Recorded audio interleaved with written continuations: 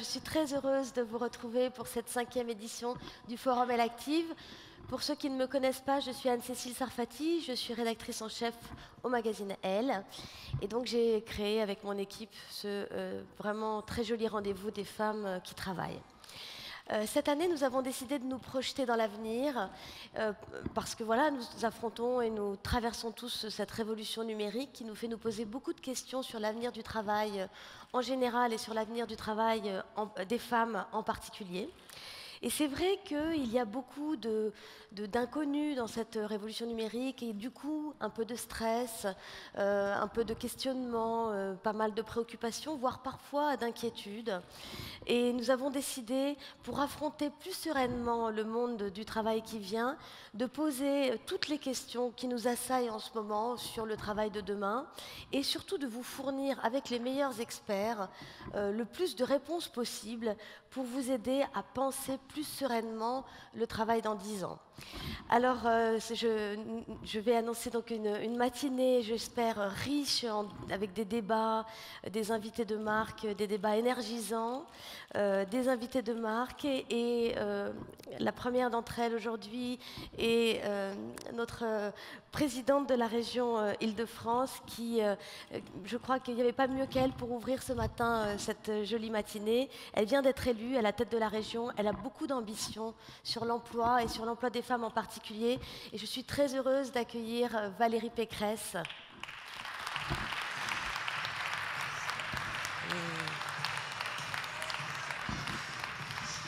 Rentrez, par là.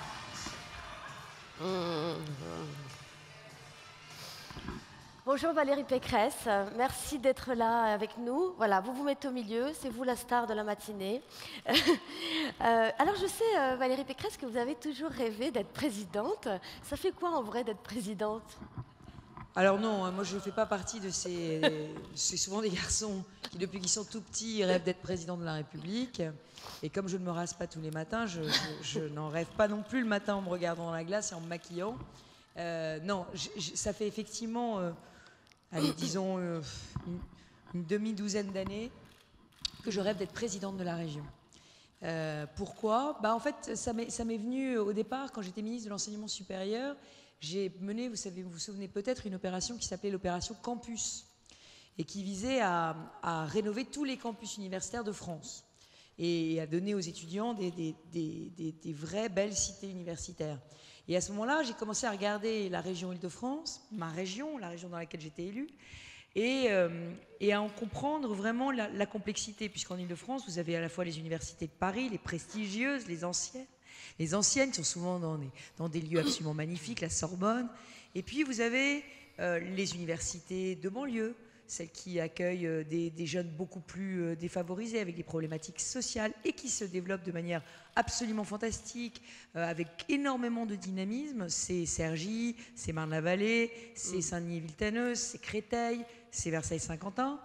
Et puis vous avez ce projet extraordinaire qui est le projet de Saclay, où on veut faire la Silicon Valley à la française et avoir. Alors justement, ça va Alors non, mais pourquoi je vous raconte ça? Parce que en fait, l'opération campus, c'est une opération de bâtisseur. Et derrière ces campus universitaires, il y avait à la fois la jeunesse, mais il y avait aussi l'économie, il y avait l'emploi, il y avait la dynamique, et il y avait ce plaisir, très masculin, hein, ce plaisir, qu'on a à construire des villes. Construire des villes. Et je me suis dit, finalement, ça doit être magique. Ça doit être magique d'être présidente de région et de pouvoir construire une région, euh, lutter avec les fractures, euh, surmonter la barrière du périphérique, faire en sorte que tout le monde soit inclus dans une dynamique, euh, aller travailler sur les, les, quartiers populaires. Bref, je me suis dit, cette région est magnifique, c'est la première, et elle ne peut pas rester derrière Londres, ça n'est juste pas possible. Voilà, donc ça a commencé comme ça, ça a germé comme ça, et, je me suis consacrée beaucoup. Alors vous dites que vous avez une politique euh, très ambitieuse sur l'emploi, vous, l'avez dit dès votre campagne, vous l'avez dit dès que vous avez été élu. Euh, qu'est-ce que vous pouvez faire au niveau de la région pour améliorer la question de l'emploi et de l'emploi des femmes euh, en particulier? Alors les femmes franciliennes ne sont pas, sont très très atypiques. Les femmes franciliennes sont plus jeunes, elles, sont, elles ont plus d'enfants, Elles ont Et- quel âge? Et elles travaillent plus. Elles sont plus jeunes, ça veut dire en moyenne, elles ont quel âge? Bah, on a une région qui est très très jeune. On a, euh, alors ça, j'ai pas les statistiques exactes, mais on a beaucoup moins de retraités en Ile-de-France. C'est assez logique. C'est en fait souvent quand on, on vient en Ile-de-France pour faire ses études, on vient en Ile-de-France pour trouver du travail, et on repart souvent. euh, Vers la alors, retraite. soit, soit quand on a beaucoup d'enfants, au bout d'un moment, euh, les familles, deux, trois enfants, on se dit ah, la qualité de vie est meilleure ailleurs, et donc on repart. Et puis ensuite, on repart une deuxième fois au moment de la retraite. Donc en fait, euh, c'est vraiment beaucoup à l'entrée de la vie active qu'on a des femmes, beaucoup à la naissance des jeunes enfants. Euh, et puis ensuite, la question, c'est est-ce qu'on arrive à faire rester les familles en Ile-de-France et à les faire s'épanouir? Et là, on tombe sur la question du, Du travail, logement, de la conciliation de la vie familiale et de ouais. la vie professionnelle, du transport, du coût du logement. Alors Le justement, votre politique de travail, énorme. alors sur le travail, sur le travail des femmes, qu'est-ce que vous allez euh, améliorer? Alors, d'abord, je pense qu'il faut. On est au 21e siècle. Donc, on ne peut pas penser le travail de la même façon qu'il y a 15 ans. Euh, Aujourd'hui, l'île de France serait la plus belle région du monde si on pouvait changer un tout petit peu nos modes de travail. Je vous donne un exemple. Bon, évidemment, le télétravail, on en parle énormément. Si on pouvait un tout petit peu plus télétravailler. Alors, quand je dis télétravailler, ça ne veut pas dire faire du babysitting à la maison le mercredi après-midi. Oui. Vous voyez ce que je veux dire Non, mais On voit très bien. Voilà, donc télétravailler, ça veut dire avoir la possibilité de travailler plus près de chez soi. Souvent dans des espaces de coworking, parce que les, les logements sont petits et que si on, on travaille de chez soi, ben, en réalité, euh, on ne peut pas travailler. En fait, on, Donc, on euh, s'occupe de la maison. Voilà, donc nous avons dans notre plan, dès cette année, la création de 1000 espaces de coworking dans toute la région en réseau, de façon à ce qu'on puisse travailler près de chez soi et qu'on puisse aussi avoir des abonnements pour travailler, euh, j'allais dire, quand on se déplace. Ces espaces de coworking, en fait, vont, enfin, je ne sais pas, hein, je ne me suis pas renseignée sur, euh, sur, euh, ils vont avoir des conventions avec des entreprises pour euh, fa- faciliter justement que certaines entreprises. euh, Alors, il y a un travail, il y a un travail d'innovation sociale à faire avec les entreprises. Moi, ce que je souhaite, j'ai commencé à en parler avec les patrons. euh, euh, alors, il y a les grands groupes, il y a les PME. C'est évidemment pas les mêmes dynamiques. Il y a les startups qui sont plus. on va parler dire- des start-up un peu Voilà, plus mais tard. les startups sont un tout petit peu plus modernes sur ces organisations du travail. C'est compliqué à organiser, mais vous savez que si 10% des salariés d'Île-de-France ne venaient pas travailler aux heures de pointe, c'est-à-dire entre 8h et 9h et entre euh, allez, 17h30 et 18h30 euh, pour le retour, si on, on avait 10% des salariés qui ne se déplacent pas à ce moment-là, on n'aurait plus de bouchons et on n'aurait plus de saturation des lignes RER, des trains. Donc c'est aussi une question d'horaire. Travailler un tout petit peu en horaire décalé, modifier les horaires, permettre que certains jours on arrive à 10 heures, que certains jours on parte à 4 heures, d'autres jours on parte à 19 heures, rien que ça, euh, ça changerait complètement La le stress qu'on a Bien sûr. à aller travailler. Alors évidemment, ça suppose des organisations familiales compliquées, ça suppose aussi des crèches qui acceptent de travailler en horaire décalé. Enfin, Alors, en fait, la question, c'est d'assouplir tout ça. C'est de ne pas être métro, boulot, dodo, à des horaires fixes, dans des lieux fixes, euh, avec un côté euh, totalement, euh, j'allais dire, pas imaginatif, Donc pas là, créatif. alors on comprend très bien, c'est très pratique, très concret. Je pense que ça parle à- vraiment à toutes les femmes qui sont là. Je crois, justement, vous avez abordé la question des crèches. Je crois que vous avez une ambition aussi sur les crèches. Alors ça relève de la, de la région, la crèche Pour le moment, Alors, non. la pas région vraiment. avait arrêté de subventionner les crèches en disant c'est une politique sociale et les politiques sociales, c'est vrai, c'est de la compétence des mairies et des départements. Moi, ce que je voudrais, je voudrais travailler sur la question de la conciliation de la vie familiale et de la vie professionnelle, qui elle est de la compétence de la région, puisque le développement économique et l'emploi, c'est la région. Donc, moi, je voudrais aborder le projet crèche, non pas sous l'angle je vais financer des places de crèche. D'abord, j'ai pas du tout l'argent pour faire ça, mais sous l'angle je vais essayer d'inciter à des crèches municipalité entreprise. Parce que les entreprises ne créent pas de crèches, pourquoi? Très souvent parce qu'il y a la responsabilité pénale qu'il y a derrière. S'il arrive quelque chose à un enfant dans une crèche d'entreprise, l'entreprise est pénalement responsable. Or, Ça- elle ne veut pas l'être. Ça s'est un peu développé quand même, les entreprises. de- Ça s'est développé, mais c'est comme ça reste compliqué. Moi, je me souviens d'avoir eu ce, ce débat avec Anne Lauvergeon, parce qu'Areva était dans, était dans ma circonscription à Vélizy, et euh, Anne Lauvergeon avait, avait créé une crèche, parce qu'elle voulait absolument être moteur, elle était une patronne femme, elle voulait avoir une crèche, etc. Euh, à l'époque, c'était la COGEMA. Et, euh, et elle m'avait dit qu'à un moment donné, son DRH était venu et lui avait dit Ah oui, mais attention, vous allez être pénalement responsable s'il y a un problème avec Oui. un bébé. Et elle avait dit, je m'en fiche, je signe quand même. Elle avait pris le risque, mais parce que c'était une femme. Mais elle me dit, si j'avais été un homme, peut-être j'aurais reculé. Donc le sujet, c'est qu'en fait, le bon système, et moi je l'ai expérimenté là encore chez moi, à Buc, euh, c'est de, que la, la mairie fasse la crèche et que les, communes, les, les, les, entreprises puissent réserver des berceaux. Comme ça, c'est la mairie qui gère toutes les aides, la CAF, la responsabilité pénale, mais l'entreprise réserve des berceaux, donc elle remplit la crèche et elle réserve des berceaux un petit peu plus chers, ce qui permet de rentabiliser pour la mairie la et crèche. alors la, région, alors là-dedans? Ben, La région, elle peut aider à l'investissement. Vous savez, la région, c'est un facilitateur. La région, c'est un ensemblier, c'est un, mot bizarre, mais elle, elle peut mettre en relation. Elle, comme elle finance tout, un peu, elle peut mettre en relation. Comme elle finance les transports, elle peut dire à une commune, écoutez, si vous voulez les bus, eh ben, il faut la crèche à côté des bus. Vous voyez Donc en fait, l'idée, c'est de faire, de mettre en regard toutes les aides de la région, les aides au transport, les aides au logement, les aides aux PME, etc., et de dire, OK, on vous donne les aides, mais on voudrait une crèche à cet endroit-là pour les salariés. Par exemple, à la région, je viens de m'apercevoir, il n'y a pas de crèche. Bon. On a quand même 2000, 2000 agents. Donc je pense qu'il faut qu'on ait systématiquement le réflexe de créer la crèche. Alors, ça ne résout pas tous les problèmes parce que toutes les femmes qui ont une heure de bah transport, la crèche, ça ne leur résoudra pas les problèmes. Mais enfin, à force de dire que les solutions ne résolvent pas les problèmes bah complètement, on ne met jamais en œuvre les solutions qui peuvent au moins partiellement résoudre les problèmes. Alors je voudrais revenir sur les start-up. Vous les avez un peu évoquées. Euh, vous savez que moins de 20% des créateurs de start-up sont des femmes. Comment faire pour que euh, les start-up euh, soient davantage créées par des femmes? Alors, c'est la question des femmes et du risque. Moi, je suis un petit peu plus confiante que vous. Euh, ça dépend de ce qu'on appelle start-up. Euh, parce que si on appelle start-up des sociétés de technologie, là, ça remonte très loin. Ça remonte au fait que les femmes font moins de sciences et notamment moins d'écoles d'ingénieurs. Donc, à partir du moment où les femmes font moins d'écoles d'ingénieurs, à ce moment-là, elles sont moins présentes dans les sociétés de technologie. Il y a un problème de formation. D'ailleurs, je voulais aussi vous demander qu'est-ce que la région peut faire pour euh, former davantage, enfin pour contribuer à son niveau, à ce qu'il y ait davantage de femmes formées au numérique, parce qu'il y a quand même un souci. Alors, je vais répondre aux deux questions, mais juste pour finir sur les, sur les, startups, il y a une dynamique entrepreneuriale féminine qui est très nouvelle, et que moi je constate partout, et notamment dans les quartiers populaires, où des femmes se lèvent et commencent à créer leurs propres entreprises. Ça peut être de tout, ça peut être de l'extension euh, de, cheveux, ça peut être du maquillage, ça peut être euh, de la mode, ça peut être euh, aussi de tout ce qui est bien-être. Des domaines moins féminins peut-être des domaines, des domaines qui sont, qui sont, aussi des domaines moins féminins? qui sont très liés à la qualité de vie. C'est-à-dire qu'en fait, c'est souvent, c'est des femmes qui partent du principe qu'il y a des choses qu'elles auraient aimé avoir près de chez elles, qu'elles n'ont pas. Elles font le diagnostic que le truc n'existe pas et elles montent leur propre affaire. Au départ, ça, part, ça, part, ça peut partir dans une cuisine ou dans une salle de bain.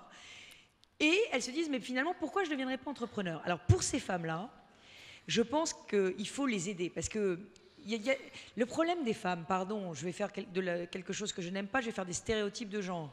Mais, euh, mais vous savez, ça fait maintenant 30 ans que je travaille, euh, et quasiment, et j'ai vu énormément de femmes, et j'essaye de faire de la promotion féminine à chaque fois.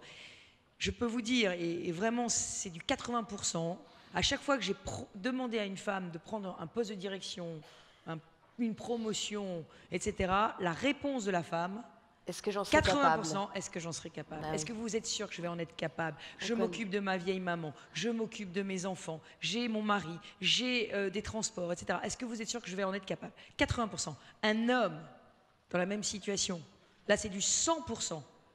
C'est oui, merci. Bah oui.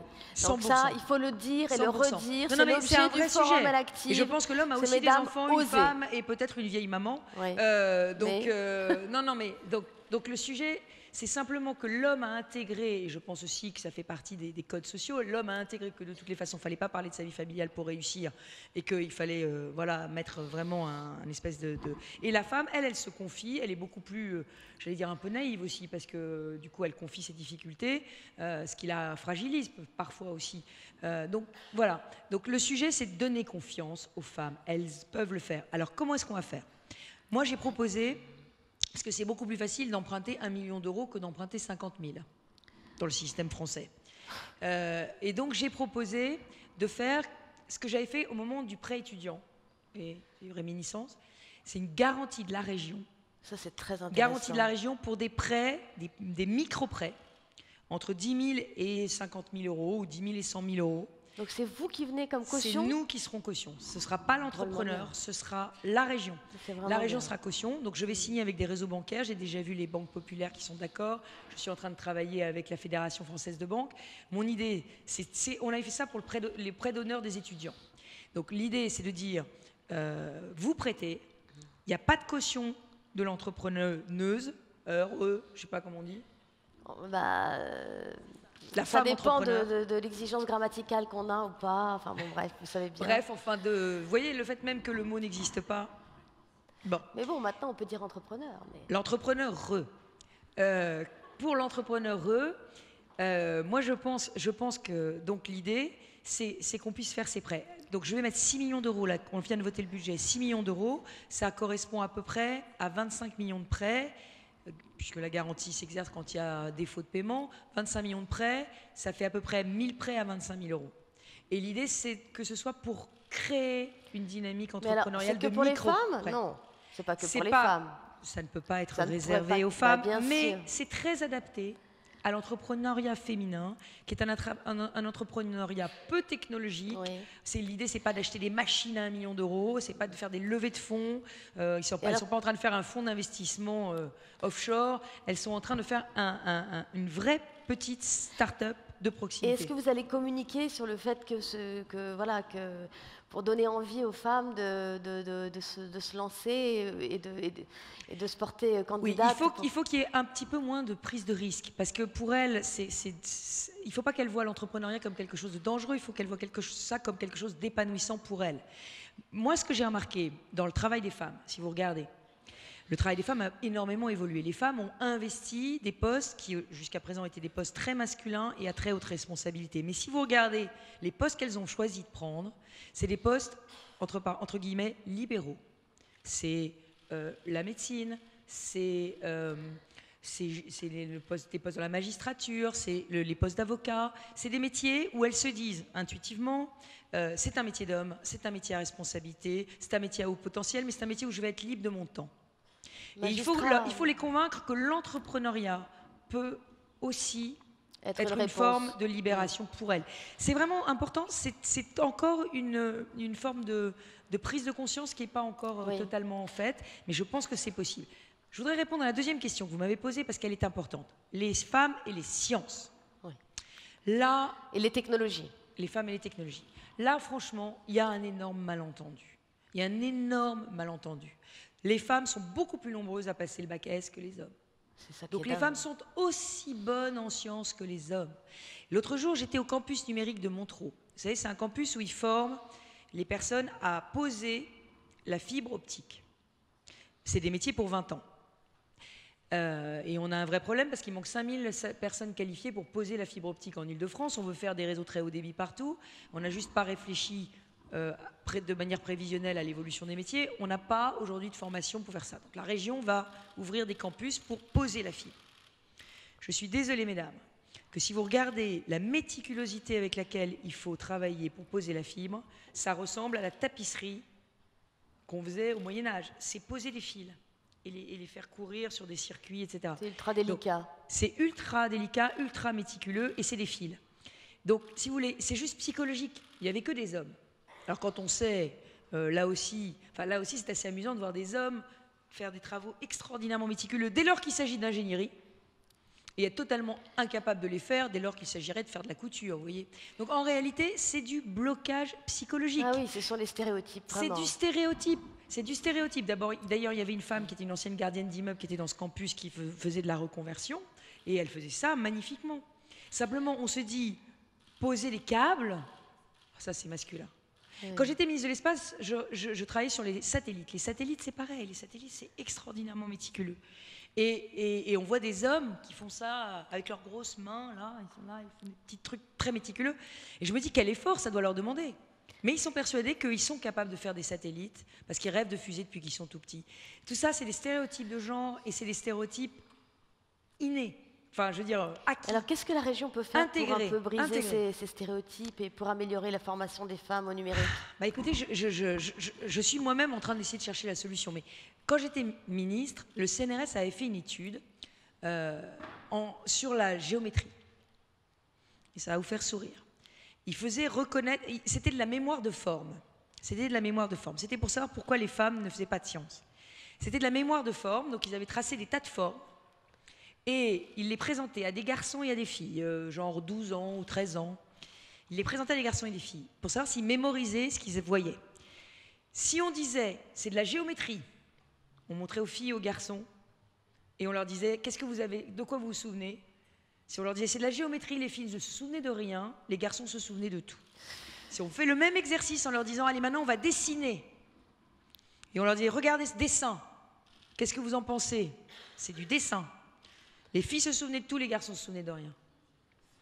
C'est incroyable. Non, non, mais cette étude du CNRS, il faut, il faut se la procurer. Elle est extraordinaire. Sur, sur l'intégration culturelle des stéréotypes, elle est fabuleuse. Bon, ce sera long. Hein, le sujet, c'est que les sciences, les sciences, c'est féminin. Alors le problème qu'on a, on va quand même se le dire, moi je me bats avec les scientifiques depuis, depuis déjà un petit moment, c'est que nous devrions avoir des formations généralistes en sciences.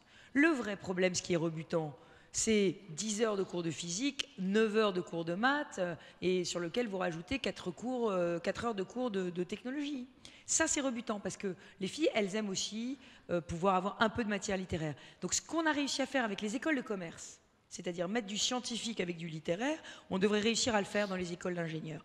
Il faudrait que les écoles d'ingénieurs acceptent aussi de, de, de rendre un peu les, de les rendre un petit peu un sexy, peu plus sexy, un peu plus sexy, et, d'aller sur un peu plus sur de l'humain, parce que les ingénieurs, une fois qu'ils seront dans l'entreprise, ils auront à gérer de l'humain aussi. Bien sûr. Et Donc en fait, on les, on les sous-forme sur toute une série de, domaines. Et les femmes, eh ben, elles, elles n'acceptent pas. Elles ont déjà, elles se sont déjà, comment dire, forcées à aller passer le bac S pour faire plaisir à papa, maman. À un moment donné, en terminale, elles disent maintenant j'ai le droit de faire ce que je veux.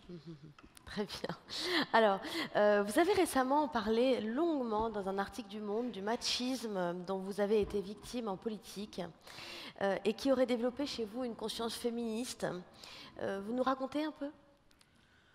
Ah oui, non, mais attendez, c'est la politique, c'est hors d'âge. C'est Bon, mais il n'y a pas que la politique d'ailleurs, parce que quand vous regardez. enfin, vous aviez l'air de dire quand même que c'était quand même. Ah non, mais c'est gratiné. Non, mais c'est gratiné. Non, mais Bon, ça commence à changer. Non, ça commence à changer, mais objectivement, il faut, il faut, il faut vraiment euh, tout le temps, tout le temps. Le problème, c'est que je trouve que c'est vraiment euh, Sisyphe et le rocher, c'est-à-dire que on pousse, on pousse, on pousse, on arrive à un point, on se dit ça y est, on a franchi une étape. Vous savez, dans l'escale, dans, dans l'ascension, on va pouvoir s'appuyer sur le piquet qu'on a planté pour remonter au-dessus. Ben non, pas du tout. En fait, ça. Il n'y a pas d'effet de cliquet. C'est-à-dire que c'est à chaque fois la, boule retombe et puis à chaque fois il faut la repousser. Si vous et, à gauche comme à droite. C'est ça là, qui est quand assez même, là, on vous embête un peu moins là, quand même, maintenant que vous êtes présidente. C'est d'ailleurs peut-être le sens de ce que vous avez dit en disant je suis libre. Vous avez dit je serai libre, je ne serai pas la femme d'un parti. Je... Écoutez, en tout cas, moi je ne me prends pas au sérieux, mais euh, je peux vous dire que je prends ma fonction au sérieux. Et au début, il a fallu quand même que je dise, euh, y compris à mon opposition, mais gentiment mais fermement, que s'ils appelaient Jean-Paul Huchon Monsieur le Président, moi, ils devaient m'appeler Madame la Présidente. Bah et pas Madame Pécresse, avec un air de dire. Euh, euh, bon, on l'a pas élue, on n'a pas voté pour elle, elle est là, on, subit. Voyez le problème, c'est qu'il y, a aussi des fonctions. Donc quand les femmes arrivent à certaines fonctions, ça ne doit pas désacraliser la fonction parce qu'elle est occupée par une femme. Vous voyez ce que je veux dire Donc je pense que c'est important que, en tout cas, on, change. Je crois beaucoup à l'arrivée aux femmes au pouvoir pour changer les choses. Moi, j'ai supprimé toutes les réunions après 19h. Il n'y a plus. 19h, c'est tard, hein bah oui, enfin, euh, il faut quand même qu'on bosse. Hein, euh. non, non, mais on ne commence pas une réunion après 19h. Ah bah attendez, c'est énorme. avant, avant, ah non, mais la tradition. On peut finir une réunion à 19h. Hein on peut finir à 19h. On peut finir à 19h. Mais on ne peut pas, on peut pas, on commence pas une réunion après 19h. Mais vous vous rendez pas compte de la révolution. En politique, on fait toujours les réunions en fin de journée. Parce que dans la ah journée, on est en train, on est représentation, on est par Mons et par Vaux, donc toutes les réunions sont entre 18 et 20 h toutes, toutes, toutes. Elles commencent toutes entre 18 et 20 heures. Donc c'est un, c'est un cauchemar. Ça veut dire c'est, c'est totalement diriment pour des femmes. Euh, d'ailleurs, moi, quand j'étais au budget, je suis à, parce qu'à l'enseignement supérieur, j'avais la parité. J'avais une espèce d'aimant qui faisait que toutes les femmes qui avaient envie d'aller en cabinet, je pense qu'elles sont toutes venues me voir. Mais elles se disaient toutes, euh, elle sera plus compréhensive. Alors cela dit, je dois à l'honnêteté d'avouer que je suis comme tous les patronnes. Hein, quand euh, quand j'en ai trois qui débarquent euh, le même mois pour m'annoncer une bonne nouvelle, c'est qu'elles sont enceintes, je me dis, zut, il y a une épidémie. Ah Elles oui, auraient donc- pu se donner le mot, se coordonner, faire ça en décalé, enfin bon bref. Écoutez, merci plaisante. pour votre sincérité en tout cas, parce non que mais je plaisante, je plaisante. Mais bon, euh, voilà, c'est la vie. Et je dois avouer qu'elles ont toujours été totalement réglo pour essayer de faire en sorte que ça pèse le moins possible sur la vie du cabinet. Mais euh, non, mais j'avais la moitié de femmes quand j'étais à l'enseignement supérieur. Et c'est vrai qu'elles se disaient que j'étais plus compréhensive. La vérité me pousse à dire que comme euh, il, faut, il faut absolument traiter les femmes de la même façon que les hommes. Donc moi, j'avais une obligation de résultat. Je me moquais de l'heure à laquelle elles faisaient leur boulot. Euh, c'est ça la différence entre moi Ouais. et un patron homme. C'est-à-dire que quand je suis arrivée au budget, j'avais zéro femme. Zéro femme au cabinet. Et mon directeur de cabinet, glorieusement, est venu me dire, mais de toute façon, au budget, on ne peut pas avoir de femmes. Je dis, attends. Ah ben non, les horaires sont trop. Alors c'est vrai que le budget, c'est trois mois jusqu'à 1h du matin. Ouais. Trois mois de, de débat budgétaire jusqu'à 1h du matin au Sénat. Ouais, c'est quand même compliqué. Trois mois, c'est très compliqué. Et en fait, il y avait une fille exceptionnelle qui- que je voulais absolument recruter et qui revenait de congé de maternité, qui avait un tout petit bébé, son premier bébé. Mais je voulais absolument la recruter parce qu'on m'a dit qu'elle était vraiment très très bien. Et en fait, on a fait une cote mal taillée, c'est-à-dire qu'elle rentrait chez elle de 19h à 21h. Ah oui, elle Comme vous savez, un bébé, ça dort. Elle, elle- elle- donc elle allait de 19h à 21h, qui était l'heure où son bébé était réveillé, voir son bébé, et elle revenait et elle faisait la, la session 21h, 1h du matin. Et alors, elle, elle prenait des amphétamines ou parce que...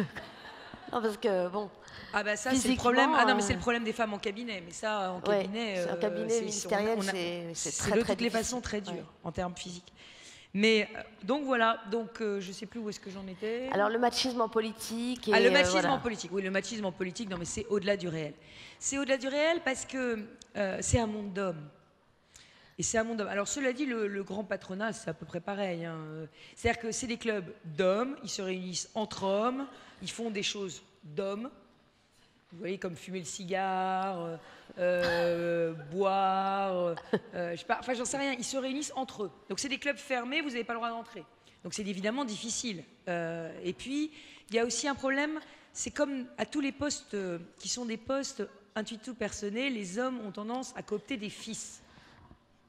Ce qui va nous sauver, c'est les filles, finalement, euh, de ces hommes qui vont finalement euh, leur dire écoute, papa, t'es gentil, mais moi aussi, je peux y arriver aussi bien que mon frère. Mais on a, on a ce problème de la cooptation des hommes par les hommes. Donc c'est pour ça que je crois beaucoup à l'arrivée des femmes à des postes de responsabilité, à condition qu'elles jouent le jeu de coopter des filles. Euh, et donc moi, je fais vraiment l'ADRH, c'est-à-dire qu'en Ile-de-France, j'essaie d'aller repérer des filles à potentiel et je leur fais leur carrière. Et je sais qu'il y a beaucoup de patrons qui maintenant font ça. Alors sur les hommes politiques, le problème c'est qu'il y a quand même des hommes politiques qui, ne prennent pas le temps de faire ça. Or, il faut prendre le temps de faire ça, parce qu'une une femme politique qui est parachutée directement à un poste de responsabilité sans avoir euh, fait les étapes préalables euh, d'élection locale, de mandat local, euh, de militantisme dans un parti politique, etc., elle est fragile en fait. Elle est fragile parce que sa nomination ne dépend que de la bonne volonté de celui qui l'a nommée. Ce qui rend une femme politique forte, c'est l'élection. Moi, aujourd'hui, il y a 4 millions de franciliens qui sont venus voter. Excusez-moi de vous dire, je ne veux pas être grossière, il y a une caméra, mais je les embête. Je veux dire, c'est mes électeurs qui m'ont choisi, c'est aucun parti politique. Et d'ailleurs, euh, au moment de l'investiture de mon parti, il y a eu une contestation sur mon investiture. J'ai dit, écoutez, si vous m'emmerdez, j'y vais sans l'investiture, allons-y. Bon.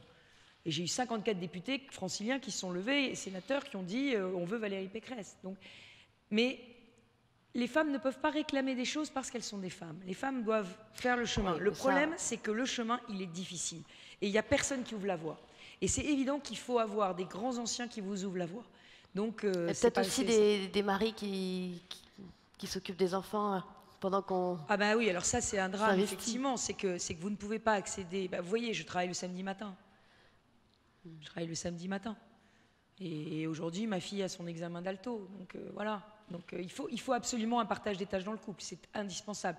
Si vous n'avez pas euh, un compagnon ou un conjoint qui joue le jeu, euh, il faut un conjoint aussi féministe que vous pour réussir. En tout cas, dans la politique, c'est impossible autrement. Sinon, sinon c'est trop compliqué. Ou alors, il faut trop sacrifier. Moi, j'aurais jamais sacrifié le fait d'avoir des enfants au fait de faire de la politique. Comme beaucoup d'autres femmes, beaucoup de femmes ne veulent pas sacrifier le fait d'avoir des enfants au fait de travailler. Donc le sujet, c'est comme on veut rien sacrifier, ben, il faut un, pacte, un pacte familial très fort.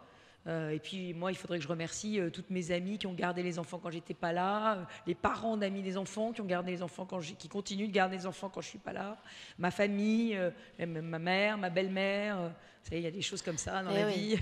Il faut, faut, faut, remercier tout le monde. Mais Hillary Clinton disait il faut un village pour élever des enfants. C'est particulièrement vrai pour une femme qui travaille. Il lui faut vraiment une parentèle très élargie pour l'aider, mmh. surtout en Ile-de-France où quelquefois on est coupé de ses racines familiales, les grands-mères sont pas là, les grands-parents sont pas là.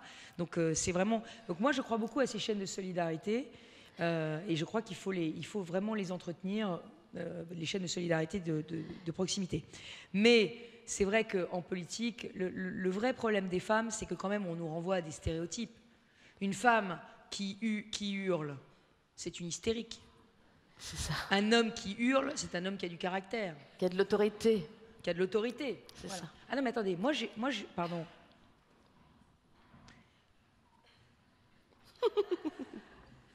moi, j'ai eu un débat euh, entre les deux tours avec mon adversaire qui était un homme. Mes deux adversaires, puisqu'au deuxième tour, j'avais le Front National et le Parti Socialiste. J'ai eu un débat entre les deux tours avec mes deux adversaires. Et j'étais interviewée par deux journalistes hommes. Je m'étais inquiétée d'ailleurs. J'avais dit, c'est, bizarre qu'il n'y ait pas la parité euh, chez les journalistes dans ce débat. Euh, il y aurait pu avoir une femme, mais non. Bizarrement, il y avait deux hommes. Donc j'étais sur un plateau avec quatre hommes. Et euh, à un moment, on me dit Oh là là, Madame Pécresse, c'est très bizarre votre attelage, vous avez euh, la droite conservatrice, mais vous avez Chantal Joanneau. Alors le FN m'attaquait parce que j'avais Chantal Joanneau et Yann Derling, le Modem et l'UDI, donc j'étais trop centriste. Les socialistes m'attaquaient parce que j'avais euh, la droite conservatrice, sens commun, etc. Et donc j'étais trop à droite. Donc j'étais pour les uns trop à droite, pour les autres trop à gauche. J'ai dit écoutez, moi j'essaie de rassembler, j'essaie de rassembler le plus largement possible. Et c'est vrai que je vais jusqu'au centre gauche. Yann Derling, il était secrétaire général des Verts. Donc voilà. Et je dis mais c'est moi qui fais la ligne politique. Donc ils viennent tous, de partout, pour défendre ma ligne politique. Et là, le journaliste, que je ne citerai pas, qui faisait mener le débat, dit Oh là là, qu'est-ce qu'elle est autoritaire, Madame Pécresse Mais vous eh imaginez un journaliste dire à, au hasard, Manuel Valls, Emmanuel Macron, Nicolas Sarkozy, qui dirait c'est moi qui fais la ligne, elle est ni de droite ni de gauche, c'est ma ligne, etc., etc. Vous imaginez un journaliste dire mais qu'est-ce que vous êtes autoritaire, monsieur Valls? Ah oui, C'est terrifiant. Qu'est-ce que vous êtes autoritaire, monsieur Sarkozy? Bon, alors j'ai répondu, bon, je suis désolée, hein, c'était le débat, mais j'ai répondu écoutez, je suis désolée, mais une femme à qui on dit qu'elle est autoritaire, il y a un mot pour ça. C'est misogynie. Alors le journaliste s'est tué, il est, retombé dans, ses, dans son bon, donc il ne faut pas lâcher devant ce genre de... Il faut, il, non, mais recadrer. une femme qui a du caractère est autoritaire et quand elle s'énerve, elle est hystérique. Euh, une femme euh, qui, euh, qui fait une bourde, parce que ça existe en politique, une femme qui fait une bourde est une idiote. Un homme qui fait une bourde a fait une bourde. Vous avez remarqué ça? Non, mais c'est insupportable. Enfin, je veux dire, non, non, mais. Je vous applaudis parce que ça, franchement. Non, mais objectivement, c'est insupportable. Et j'ai plein d'exemples en tête. Euh, y compris à commencer par Ségolène Royal, dont on peut penser tout ce qu'elle veut. Elle a dit une fois bravitude, euh, on a considéré qu'elle était analphabète. Je voudrais savoir combien de fautes de français font les hommes politiques et combien de fautes de français on leur reproche. Moi, je suis prête à, mettre en place un petit compteur. Hein. Non, mais c'est insupportable. Et, c'est comme ça pour tout. Et je ne vous parle pas du look.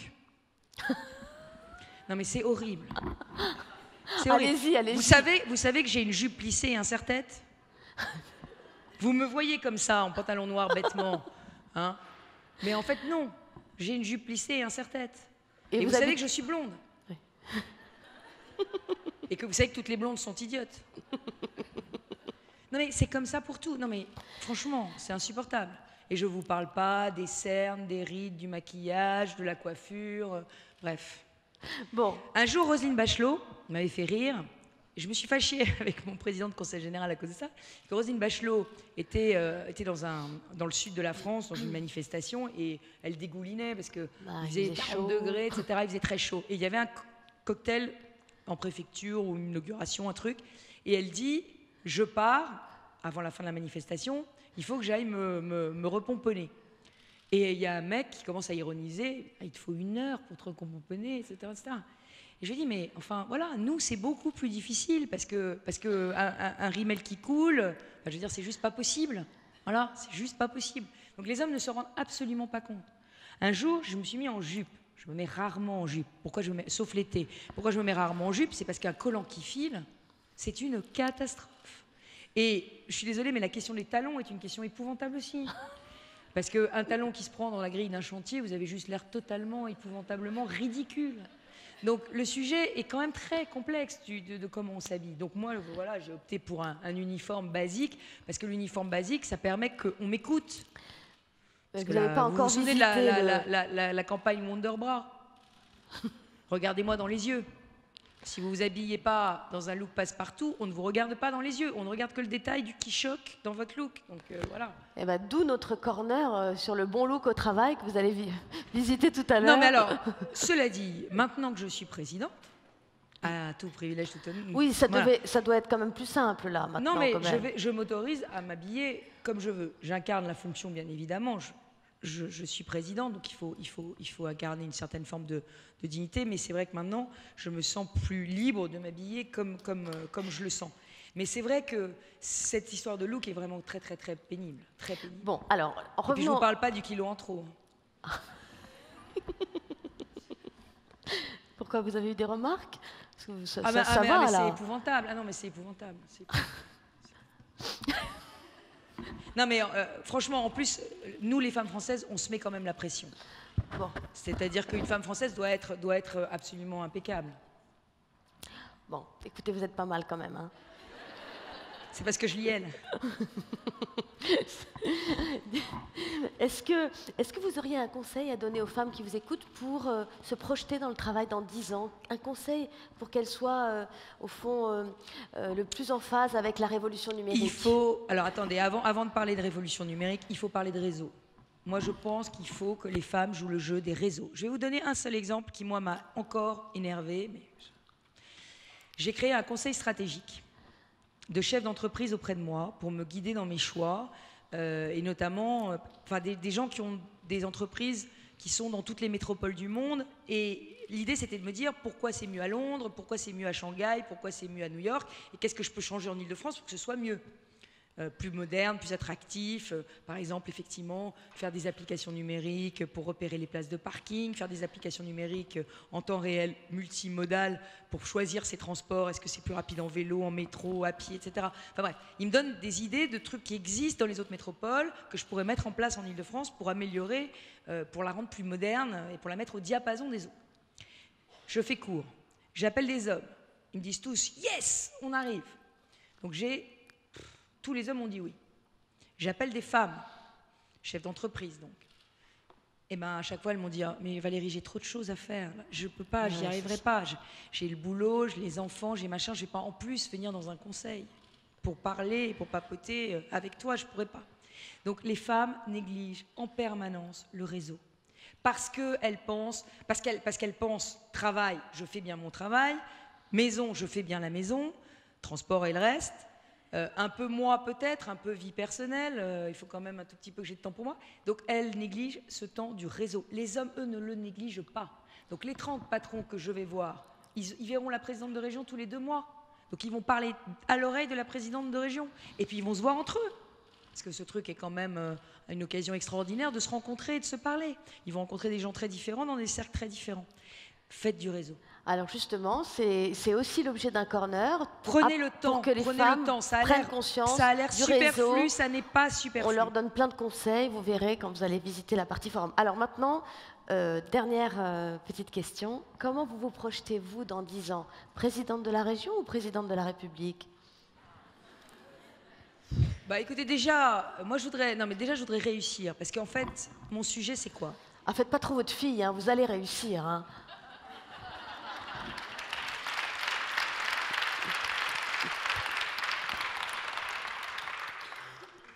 Ouais, on se refait pas.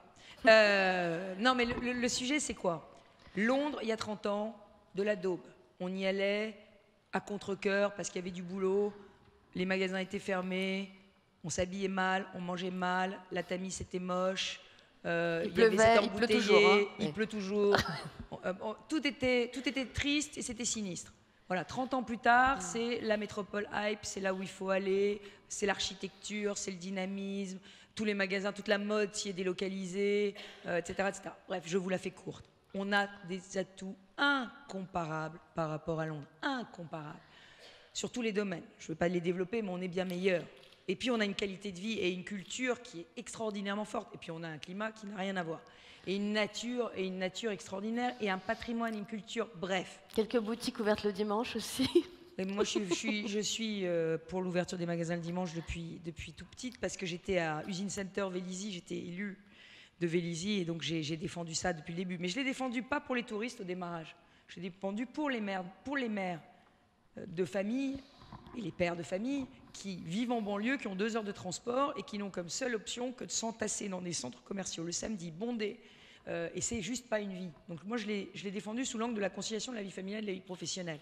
Et en plus, je l'ai défendu pour le travail étudiant, parce que c'est beaucoup mieux pour un étudiant de travailler le dimanche à double paye bah et de bosser la semaine que de travailler la semaine et de rien foutre le dimanche. Pardon, excusez-moi de le dire, mais pour réussir ses études, c'est bon.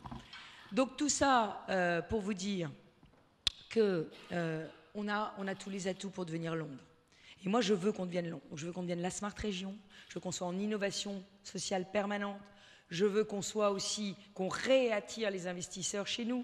Là, il y a une menace de Brexit. Donc, on va aller faire la promotion de la défense. C'est pas que j'aime la finance, mais vous savez que la finance, si on n'a pas une finance française, on n'aura pas d'entreprise. Parce que la finance, c'est ce qui nous, une finance indépendante française, c'est ce qui nous permettra d'avoir des entreprises. Faisons très attention, parce qu'avec l'idéologie qui dit j'aime pas la finance, on l'envoie à Londres, on se met dans la main des banques américaines. Il y a peut-être ici des filles qui travaillent dans des banques américaines. Euh, je n'ai rien contre les banques américaines, mais à un moment donné, la banque américaine, son plus gros donneur d'ordre, il sera toujours américain, il ne sera jamais français. Donc quand il y aura une fusion-acquisition, ce sera toujours au bénéfice euh, de l'américain et jamais au bénéfice du français. Donc nous avons besoin d'une finance indépendante. Donc moi, j'ai essayé de faire revenir tout le monde à, à Paris. En tout cas, l'idée, c'est qu'on soit les plus dynamiques, les plus créateurs d'emplois, les plus créateurs culturels. Là, je viens de faire un budget de la culture, ça a un peu gêné la gauche, en hausse de 6% alors que le gouvernement me, prend 6% de baisse de dotation à la région. Ça a un peu surpris tout le monde. Mais je pense que le dynamisme culturel de l'Île-de-France est une question d'attractivité à la fois économique et de cohésion sociale. Voilà. Donc ce que je voudrais, c'est réussir. Dans six ans, si j'ai réussi, l'Île-de-France sera redevenue euh, le lieu où il faut créer, le lieu où il faut être, le lieu où il faut vivre, le lieu où il faut habiter. Et ce sera le lieu de toutes les expérimentations euh, écologiques, sociales. On n'a que 5% d'énergie renouvelable en Ile-de-France. C'est indigne d'une grande région, d'une grande métropole. Bref, je vous la fais courte. Donc je voudrais réussir. Et si j'ai réussi, bah après on verra. Moi, vous savez, je fais les choses par passion. Donc j'ai eu une passion pour cette région. Je me suis dit, on, va pouvoir faire quelque chose de passionnant ici. Dans six ans, dans six ans, ce sera l'heure du bilan, puis on verra après. Bon, donc vous, vous ne vous interdisez rien Ah ben moi je m'interdis rien. Donc pourquoi s'interdirait quelque chose? On n'est pas bah, des filles ici. Très bonne euh, conclusion, Valérie On est des hommes politiques comme les autres. Merci beaucoup. Merci infiniment. À bientôt. Vous avez cinq minutes encore pour faire le tour. J'aimerais bien. on est un peu en retard parce que c'était passionnant, mais du coup, j'aimerais bien que vous fassiez le tour avec Constance Vinquet. Euh, voilà. Merci beaucoup. Oui. Euh, alors, écoute, on va, on va entamer sur la suite des événements. Alors, je ne sais pas je vais vous laisser peut-être euh, vous installer, mais ne partez pas, c'est passionnant ce qui arrive. Alors évidemment, c'est difficile de rivaliser après cette euh, intervention brillante. Euh, je ne sais pas vous, mais moi, quand je lis tous les articles qui sont publiés actuellement sur le fait que ça va être direction Pôle emploi, si, dans dix ans, si on ne maîtrise pas tout le code informatique, ça me met un peu quelques angoisses. Donc, est-ce qu'on sera obligé absolument de savoir coder comme il faut savoir parler l'anglais? C'est l'objet du prochain débat. On a demandé à un, expert euh, euh, très dynamique, jeune et spécialiste du code informatique de répondre à nos questions. Et pour euh, j'ai choisi la plus jeune de mon équipe, Lou Bess, qui est journaliste. Elle n'a pas 25 ans. Et Lou, euh, c'est à toi. Alors, voilà.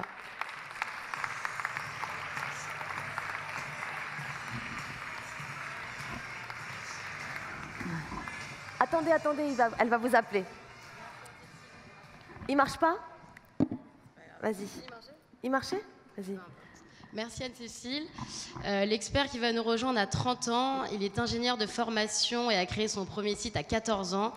Passionné par le monde de l'éducation et des nouvelles technologies, il combine ses deux envies en co-créant Open Classroom en 2013, une plateforme qui diffuse plus de 1000 cours en ligne, dont des cours de code. Merci d'accueillir Mathieu Nebra.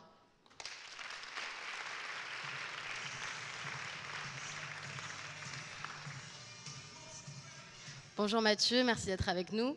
Bonjour. Alors, est-ce que vous pouvez d'abord nous rafraîchir un peu la mémoire et nous expliquer ce qu'est le code informatique, à quoi il sert et à qui il s'adresse? Le code informatique, c'est ce qui fait euh, tourner les logiciels que vous utilisez au quotidien, c'est ce qui fait fonctionner vos avions, c'est ce qui fait fonctionner votre portable, c'est ce qui fait fonctionner euh, pas seulement l'ordinateur, mais euh, votre voiture de demain qui se conduira toute seule.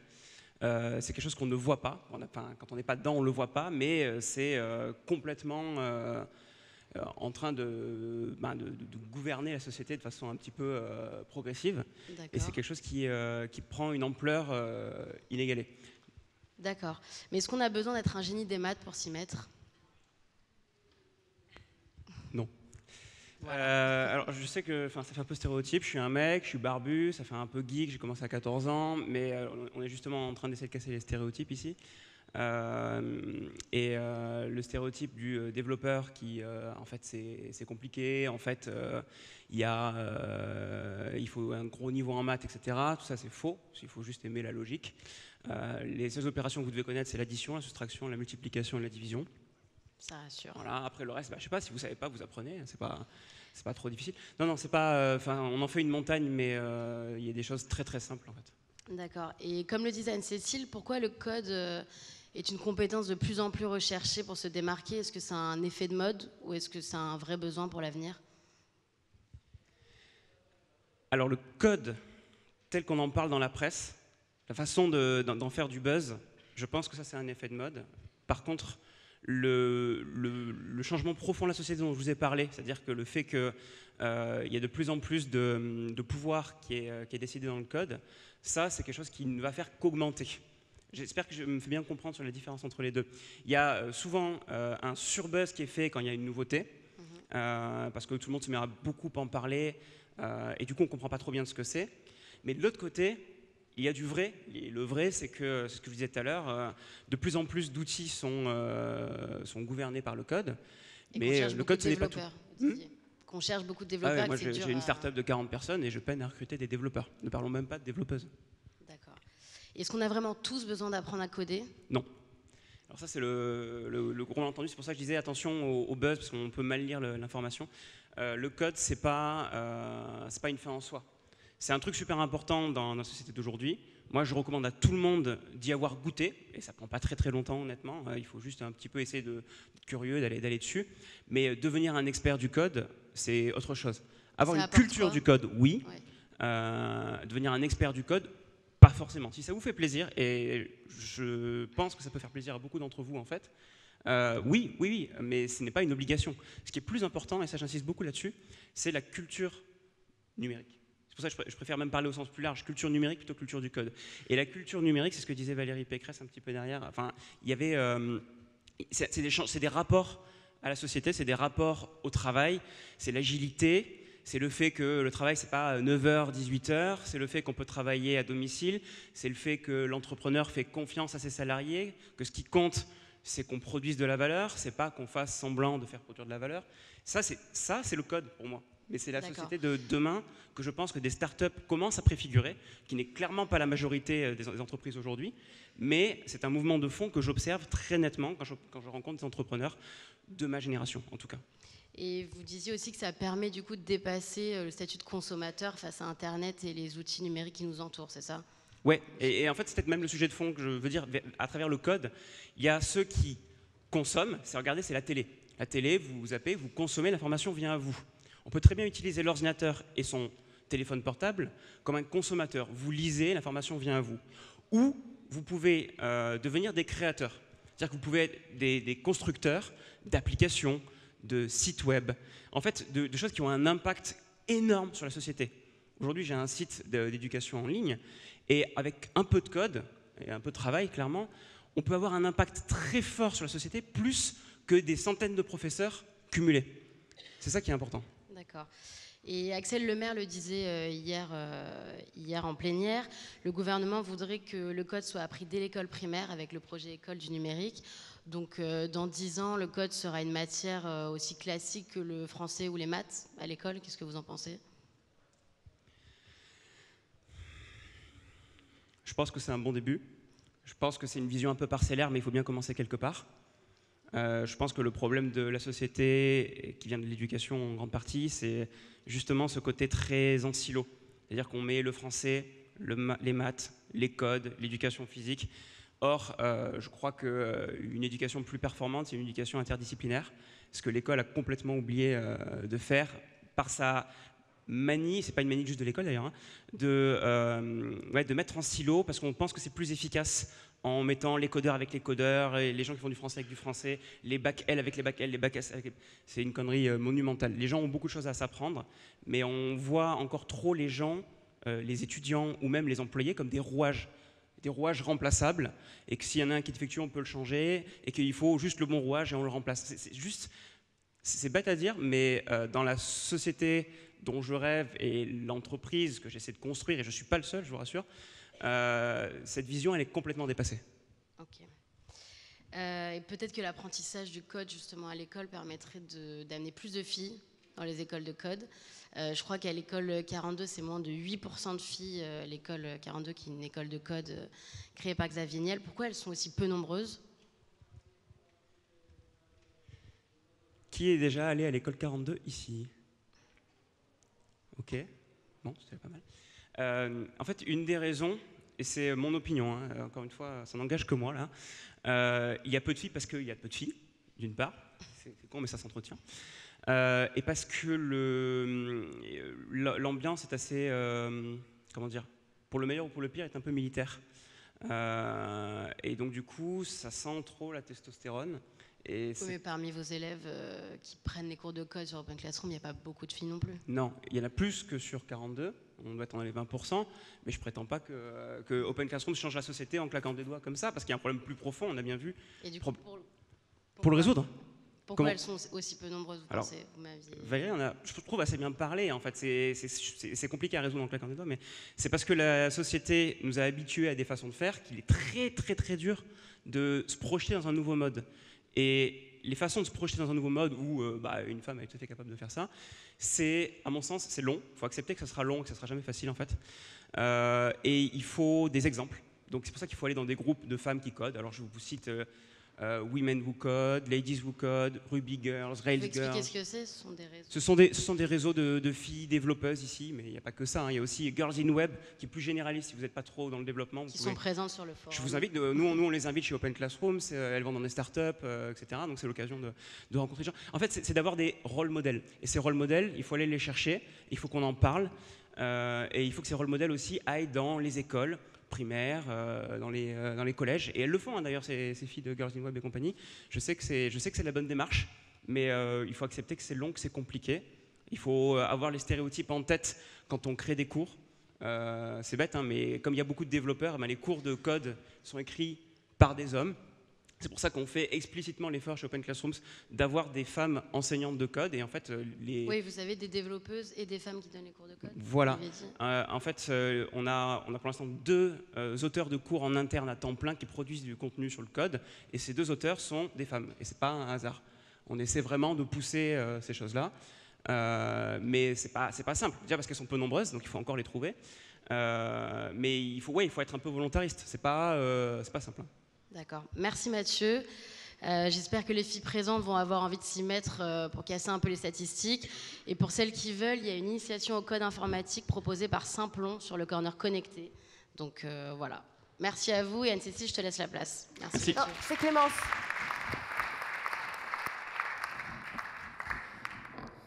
C'est Clémence Alors, qui prend la, la, suite. Exactement. Bonjour à toutes et à tous. On va poursuivre avec le prochain débat.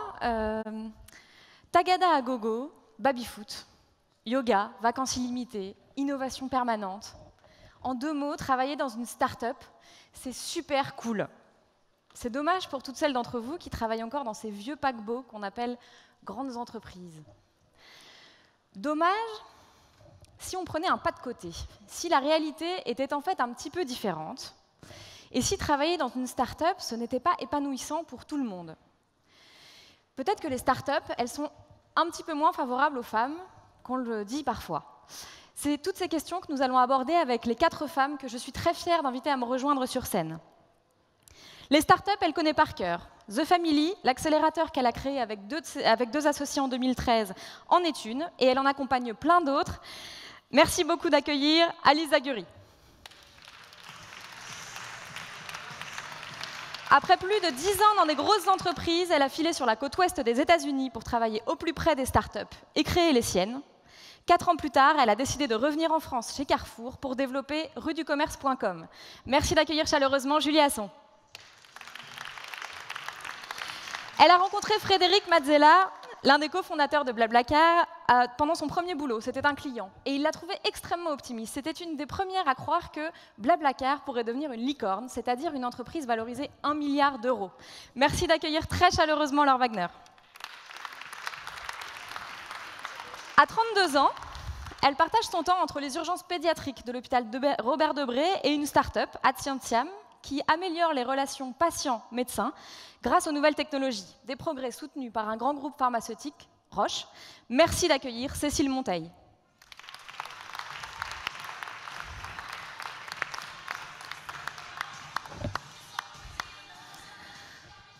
Alors pour commencer, euh, je l'ai dit Alice, euh, vous, vous connaissez parfaitement bien les startups puisque vous en dirigez une et que vous en accompagnez plein d'autres à se développer. Euh, est-ce que vous pourriez nous dire le mythe baby-foot, frigo plein et canapé à gogo, là, c'est vrai? Ça se passe comme ça dans les startups? Un, deux, deux. merci de m'avoir invité. en fait, comment dire, c'est un peu prendre la conséquence pour la cause. C'est-à-dire quand vous rentrez dans une start-up, en effet, il y a euh, le baby-foot, euh, des fruits, euh, une espèce d'ambiance comme ça, hyper accueillante, hyper chaleureuse. Tout le monde est pieds nus, en t-shirt, c'est cool quoi. Tout le monde en tongs et en sweat. non, non, en fait, ça c'est la conséquence d'une culture, c'est absolument pas la cause de l'innovation. Donc l'erreur, ce serait de se dire, bah, moi aussi je vais arriver au boulot en sweatshirt et puis je vais demander à mon patron de mettre de, une cantine ouverte pour tout le monde. Et hop, ça va créer l'innovation. C'est pas du tout comme ça que ça se passe. Euh, si au final, euh, dans une start-up, effectivement, il y a une jolie décoration, euh, des messages inspirants affichés au mur, l'impression qu'on est à la maison, un chat qui passe ou un chien, c'est parce que en fait, c'est d'abord un espace et un endroit dans lequel on va passer énormément de temps. Donc c'est un espace qui doit être agréable à vivre.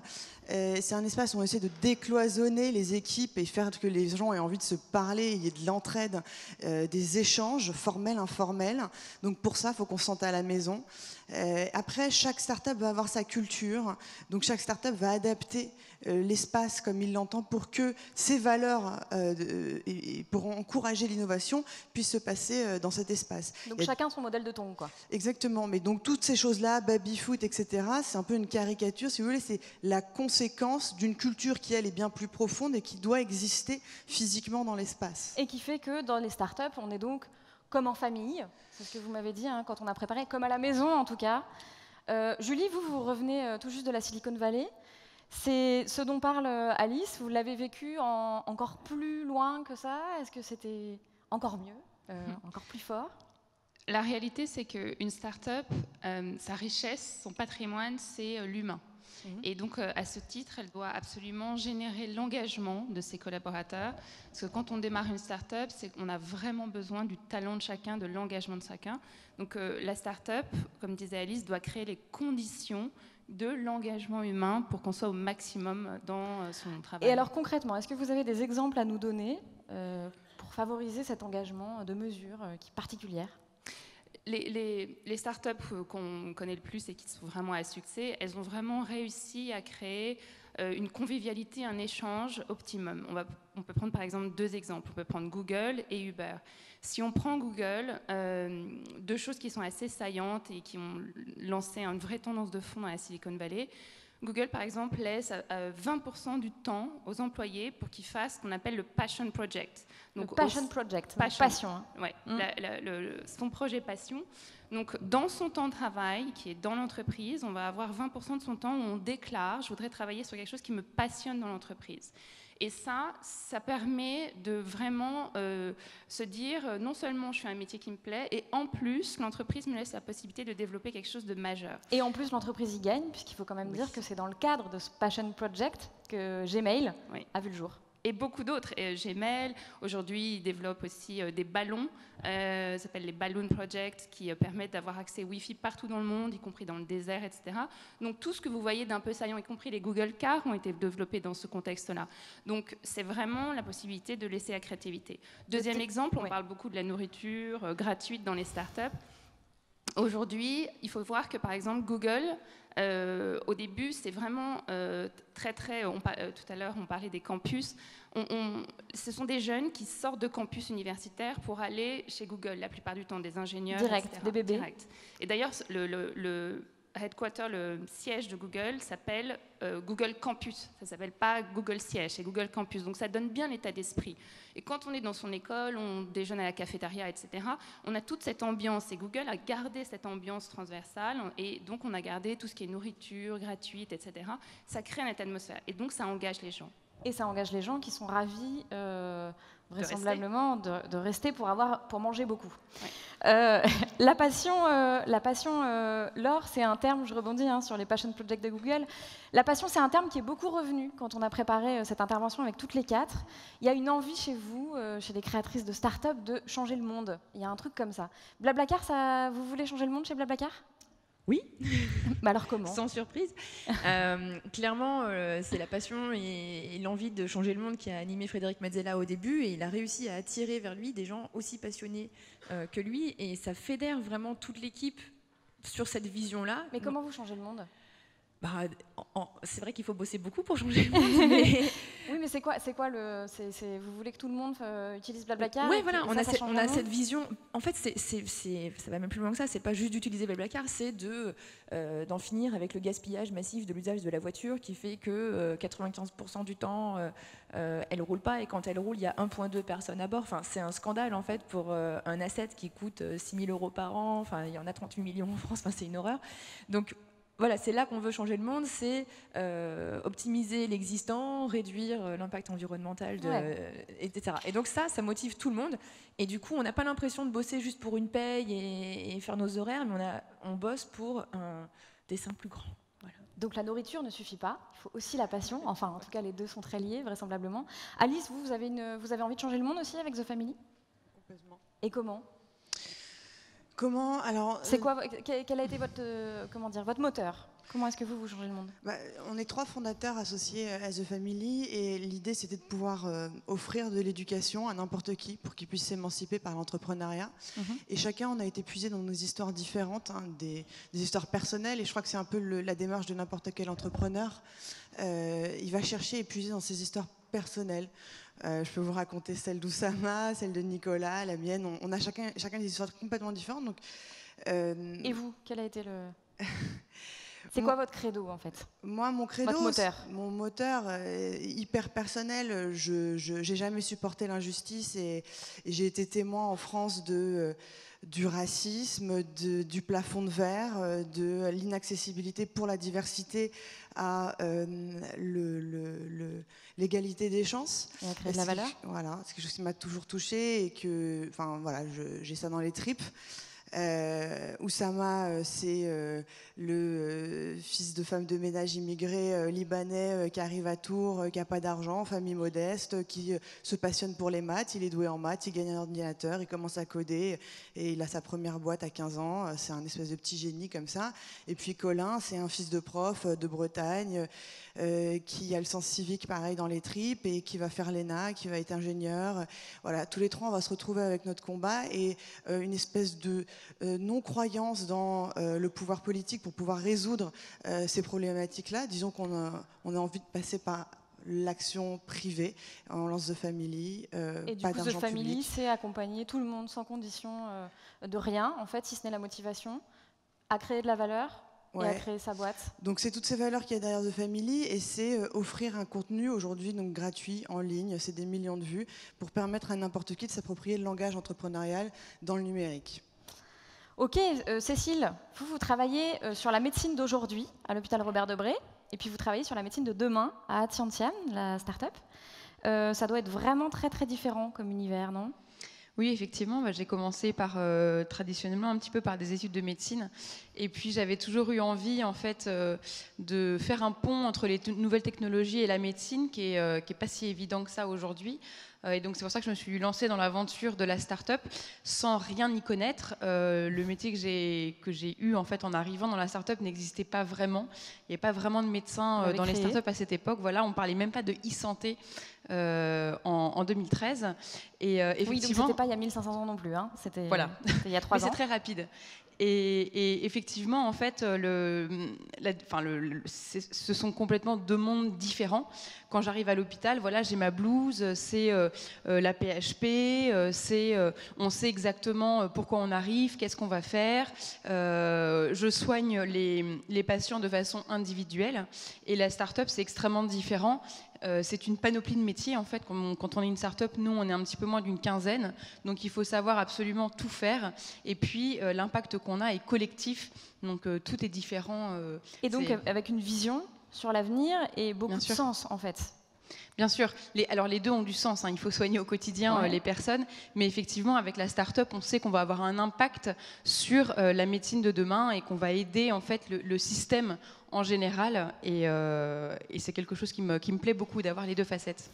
Merci Julie. Euh, vous croyez que l'esprit euh, tout est possible dans les startups Finalement, ça vient de là, ça vient de cette volonté des fondateurs de, changer le monde à leur échelle, à leur niveau, en faisant un peu fi parfois des, politiques publiques. Et puis aussi, il y, a le corollaire hein, qui est lié à ça, c'est-à-dire que dans une startup, on peut, comme le disait Cécile, gravir les échelons très vite, changer de métier, être ultra agile. ça vient de là? Ça vient du fait Allô, oui. Ça vient du fait euh, que clairement, quand on, quand on commence une start-up soi-même et quand on commence à employer ses, ses, premiers, euh, son premier personne, on va aller chercher des compétences précises et en même temps, euh, ces compétences et cette expérience, il faut être hyper flexible et agile. Le, le, la façon de fonctionner d'une startup, c'est vraiment ce, binôme test and learn. Donc, on est toujours en état de, de lancer le, le, minimum et tout de suite apprendre. Et donc, forcément, ça laisse sortir euh, les personnes qui sont les plus moteurs, qui sont les plus passionnés, comme on l'a évoqué, et qui vont vraiment être dans cette dynamique. Et, et qui ne vont pas avoir peur de se planter aussi. Voilà. Et une chose qui est très importante dans la culture startup, c'est on va toujours essayer des choses et on accepte parfaitement que l'échec, c'est une expérience. L'échec n'est pas un état de fait. Si on, on apprend, et chez Google, on dit d'ailleurs documenter son échec, euh, ça nous permet d'apprendre. Et plus on apprend, plus on est capable d'avoir un large panel euh, de compétences. Et donc, ça permet d'évoluer, y compris sur des métiers nouveaux, y compris sur des aires nouvelles. Donc, euh, on peut changer le monde quand on est mmh. dans une start-up parce qu'en fait, on va grandir avec la start-up. Et on, si on prend Uber, par exemple, ils étaient 80 personnes il y a trois ans et demi, ils sont aujourd'hui pas loin de 3000. Et donc, forcément, les gens qui étaient là au début se sont retrouvés à, à avoir des grandes équipes. Donc euh, c'est ce en quoi c'est très motivant. Merci beaucoup pour cette transition formidable. Blablacar, euh, vous êtes partie. Donc vous, Laure, vous, êtes, vous en étiez la première employée. Vous êtes la toute première qui a été embauchée par euh, Frédéric Mazzella et son équipe et ses associés. Et il se trouve qu'aujourd'hui, vous êtes porte-parole de Blablacar. Vous êtes 300 maintenant chez Blablacar 500. 500. Vous êtes 500 chez Blablacar en, voilà, en trois jours.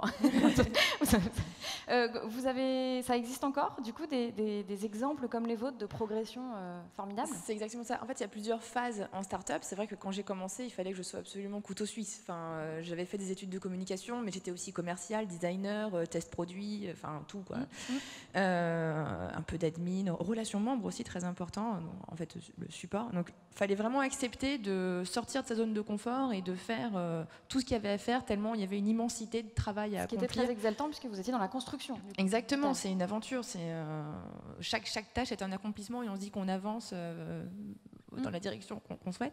et forcément, ensuite, plus on recrute, plus on peut se concentrer sur notre expertise ou, et c'est ça le luxe après, quand on recrute encore plus, de vouloir apprendre de nouvelles choses. Et effectivement, les personnes qui arrivent en premier, ben, forcément, enfin, si, elles arrivent, montent et, créent leurs équipes, etc. Euh, on monte en responsabilité très vite, du coup, et je voulais citer l'exemple de, de Cyrielle Callot chez nous, qui est arrivé en tant que marketing manager. Voilà, euh, Elle avait toute jeune. Elle est rentrée à 25 ans. Aujourd'hui, elle a 28 ans. Elle est euh, Head of Growth chez nous, donc euh, directrice de la croissance. Et donc, c'est elle qui synchronise tous les canaux d'acquisition euh, pour Blablacar euh, Monde.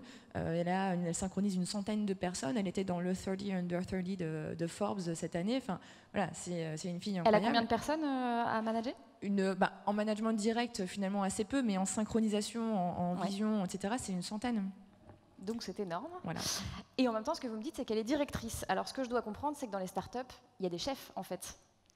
Cécile, Oui. il y a des chefs euh, chez vous à centième Bah, disons que de par mon caractère bien trempé, euh, j'ai pas de chef. Je- À l'hôpital, vous avez des j'ai un chefs, quand petit problème avec l'autorité. Non, j'ai pas de chef à l'hôpital non plus.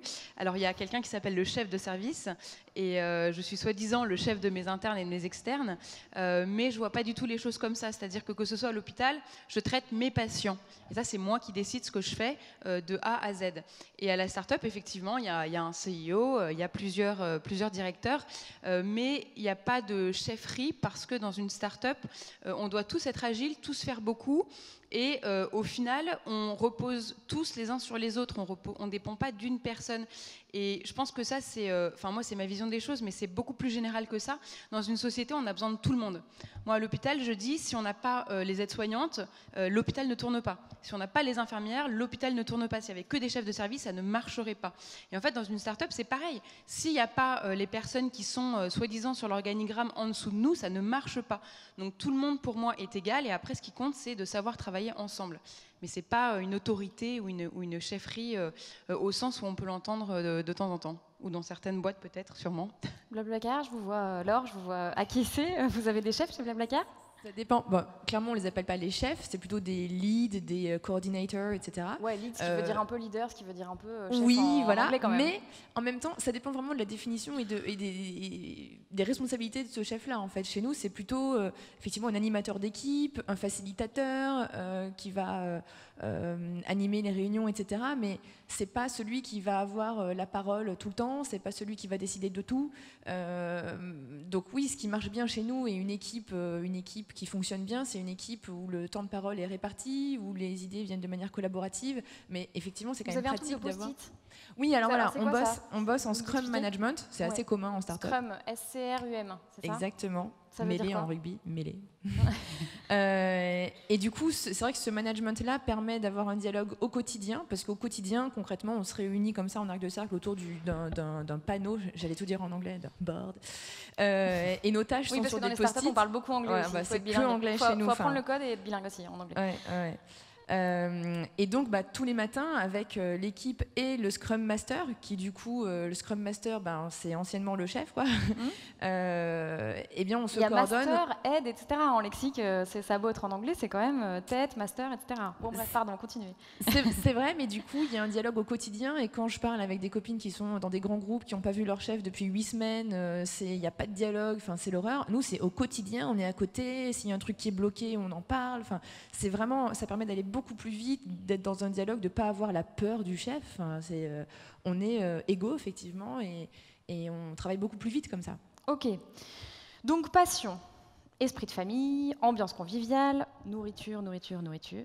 Euh, pardon, c'est un aspect qui me plaît beaucoup aussi. En tout cas, partage aussi fluide des informations possibles. Je crois que ça a l'air super comme ça, mais je crois que vous seriez un peu toutes les quatre d'accord pour dire que si on s'arrêtait à ce tableau idyllique, ce serait pas forcément suffisant. Euh, Julie, quand on a préparé, vous m'avez dit que tout le monde n'était pas fait, et vous n'avez pas été la seule d'ailleurs, tout le monde n'était pas fait pour euh, travailler dans une start-up. Pourquoi est-ce que vous dites ça? Euh, c'est vrai, tout le monde n'est pas fait pour être dans une start-up parce qu'on parle surtout là de toutes les start-up et on est réunis pour les start-up qui fonctionnent bien, mais ce n'est pas le cas tout le temps. Et, Oui, on va en reparler après. et donc, en fait, il y a vraiment tout un, il process euh, dans une start-up qui, et on l'évoquait un peu tout à l'heure, on, va commencer par lancer, ensuite euh, euh, on va commencer par tester, etc. Et il faut vraiment à la fin garder son cap en permanence. Et il faut avoir confiance en fait. Et, et cette notion de sécurité intérieure, parfois on va, aller, on, va se sentir plus à l'aise dans d'autres contextes. Et- et plus voilà, structuré, hein, c'est ça On va se sentir Oui. plus à l'aise dans des. Dans des, dans des Tout le monde organisations où les pas process entrepreneur, en fait, euh, c'est ça. dans, dans les organisations où il y a des process qui sont euh, déjà mis en place. En même temps, euh, et c'est ce qui a fait qu'après 10 ans de start-up, j'ai rejoint le groupe Carrefour, Mm. euh, en rencontrant Georges Plassa, qui a cette théorie du RE, le PDG de Carrefour, qui a cette théorie du RE et qui est totalement start-up euh, centric. Le RE, c'est refaire, réinventer, repenser, et c'est vraiment ce qu'on fait dans une start-up. Donc euh, je me suis dit, la transition était possible. Oui, et ce qu'il faut préciser, c'est que quand vous dites dans une start-up, c'est pas toujours en tant que CEO. Ce que vous Ah oui. dites là, ça s'applique pour les salariés. C'est-à-dire qu'il faut avoir toujours cette mentalité d'entrepreneur en, en permanence. Euh, Alice, si on, vous m'avez dit ça aussi. Si on devait résumer ce point-là, c'est fait pour qui les start-up et ce n'est pas fait pour qui? D'abord, il faut revenir à la définition de qu'est-ce que c'est qu'une start-up. Juste Ouais. pour qu'on comprenne, une start-up, c'est une organisation qui est en recherche d'un business model qui soit scalable, répétable et profitable. Scalable? Euh, ça peut monter à l'échelle très rapidement. Ouais. Euh, répétable, ça peut être partout dans le monde. Et euh, profitable, bon, bah, c'est le Bon, bah. principe du profit. Ça Voilà. parle. Et c'est une notion où il y a, ça veut dire quoi? C'est-à-dire qu'il y a de l'hyper-compétition et surtout, c'est-à-dire qu'il n'y a qu'un gagnant. Ouais. D'accord? Il n'y a qu'un Uber, Il n'y a qu'un. Google, Voilà. il n'y a qu'un Facebook. D'accord? Ouais. Donc ça veut dire un sacrifice total. Ça, c'est la start-up. Après, l'entreprise, donc c'est une, une organisation qui exploite un business model qui est déjà connu. On ne le cherche plus. D'accord? Donc cette notion de recherche, d'être pionnier, de tout rafler, euh, ça demande un sacrifice total. On ne parle pas des lifestyle business sur Internet où on peut gagner sa vie. Euh, on ne parle pas de ça. du ce que vous appelez lifestyle business, vous euh, Freelance. euh, voilà, euh, je- voilà. D'accord? Société unipersonnelle, etc. Là, c'est viser la billion dollar compagnie. Faut être des gagnants. Voilà. Donc c'est-à-dire qu'il y a, y y ça demande, euh, on parle de sacrifice, ça demande des aventuriers. Ouais. Ça veut dire quoi? C'est-à-dire qu'on surtout pas des gens qui cherchent à faire carrière, surtout pas des gens qui sont dans une logique d'abord de sécurité, mais vraiment des gens qui cherchent à apprendre, à grandir et qui cherchent pas à faire leur vie dans cette start-up. vous, c'est ce que c'est ce que vous En tout cas chez nous, privilégiez chez The Family. ah hein. bah oui, À la rigueur, les gens y passent et mais ils surtout, partent, on peut pas prétendre faire de l'innovation si euh, on ne se renouvelle pas nous-mêmes euh, de l'intérieur. Ce qui veut dire renouveler les équipes. Il faut que ça bouge, il faut que ça change, il faut que ça rebondisse, il faut que ce soit des passages de vie et que ça me déchire le cœur quand des gens partent, tout le temps. Euh, de la même manière que parfois c'est moi qui m'en sépare et que c'est difficile et c'est douloureux aussi, mais c'est fondamental pour qu'on reste cette structure hyper agile et surtout dans la remise en question permanente. La question du sens, de pourquoi est-ce qu'on fait ce qu'on fait, elle est au cœur euh, de la start-up et ça passe par euh, surtout pas s'installer, surtout pas se tranquilliser et surtout pas des gens qui veulent faire carrière chez vous. Julie, vous, avez, vous allez rejoindre euh, Carrefour. Oui. Qu'est-ce que vous allez amener de la Silicon Valley chez Carrefour? Clairement, euh, le positivisme. Et ça tombe bien parce que c'est le grand fer de lance de, Carrefour. Euh, le côté très positif, euh, c'est- vrai que quand on monte sa start-up, il faut vraiment y croire. Parce que c'est, on est drivé de l'intérieur et, c'est vraiment une forme de, de positivisme. Donc voilà, c'est ça ce que je veux amener. Mon credo personnel, c'est vraiment le trio People, Planet, Profit. Euh, donc ça, ça sera Vous nous dites oui, c'est donc Ouais. euh, c'est apporter de la valeur ajoutée aux gens, à sa communauté, euh, à ses employés, à son client final. La planète, c'est toute la partie environnement et le profit parce que définitivement, on, est là pour faire en sorte d'augmenter les richesses de la société et de, de son pays potentiellement. Euh, donc voilà. Et ce qui m'a séduit et ce qui m'a d'ailleurs étonné au début, hein, parce que je peux vous dire qu'il y a encore un mois, je ne savais pas du tout que je serais là avec vous ce soir, euh, aujourd'hui. Et donc, ce qui- non, vraiment. Vous revenez tout juste des États-unis, hein, donc il faut dire que Je- pour je vous, c'est presque le soir en semaine. fait. Je prenais l'avion il y a une semaine et Pour vous, il n'y a plus de jour, il n'y a plus de nuit en fait. J'étais encore start-upeuse et engagée comme start-upeuse depuis 10 ans, il y a un mois. Donc il fallait vraiment me faire un petit déclic. Et le petit déclic, concrètement, c'est que j'ai rencontré chez Carrefour, à mon grande surprise et, bonheur, euh, des gens qui sont des vrais entrepreneurs. Il y, a, il y a des gens qui viennent des start-up, on a Hervé Parisot qui vient de vente privée et pas mal d'autres personnes.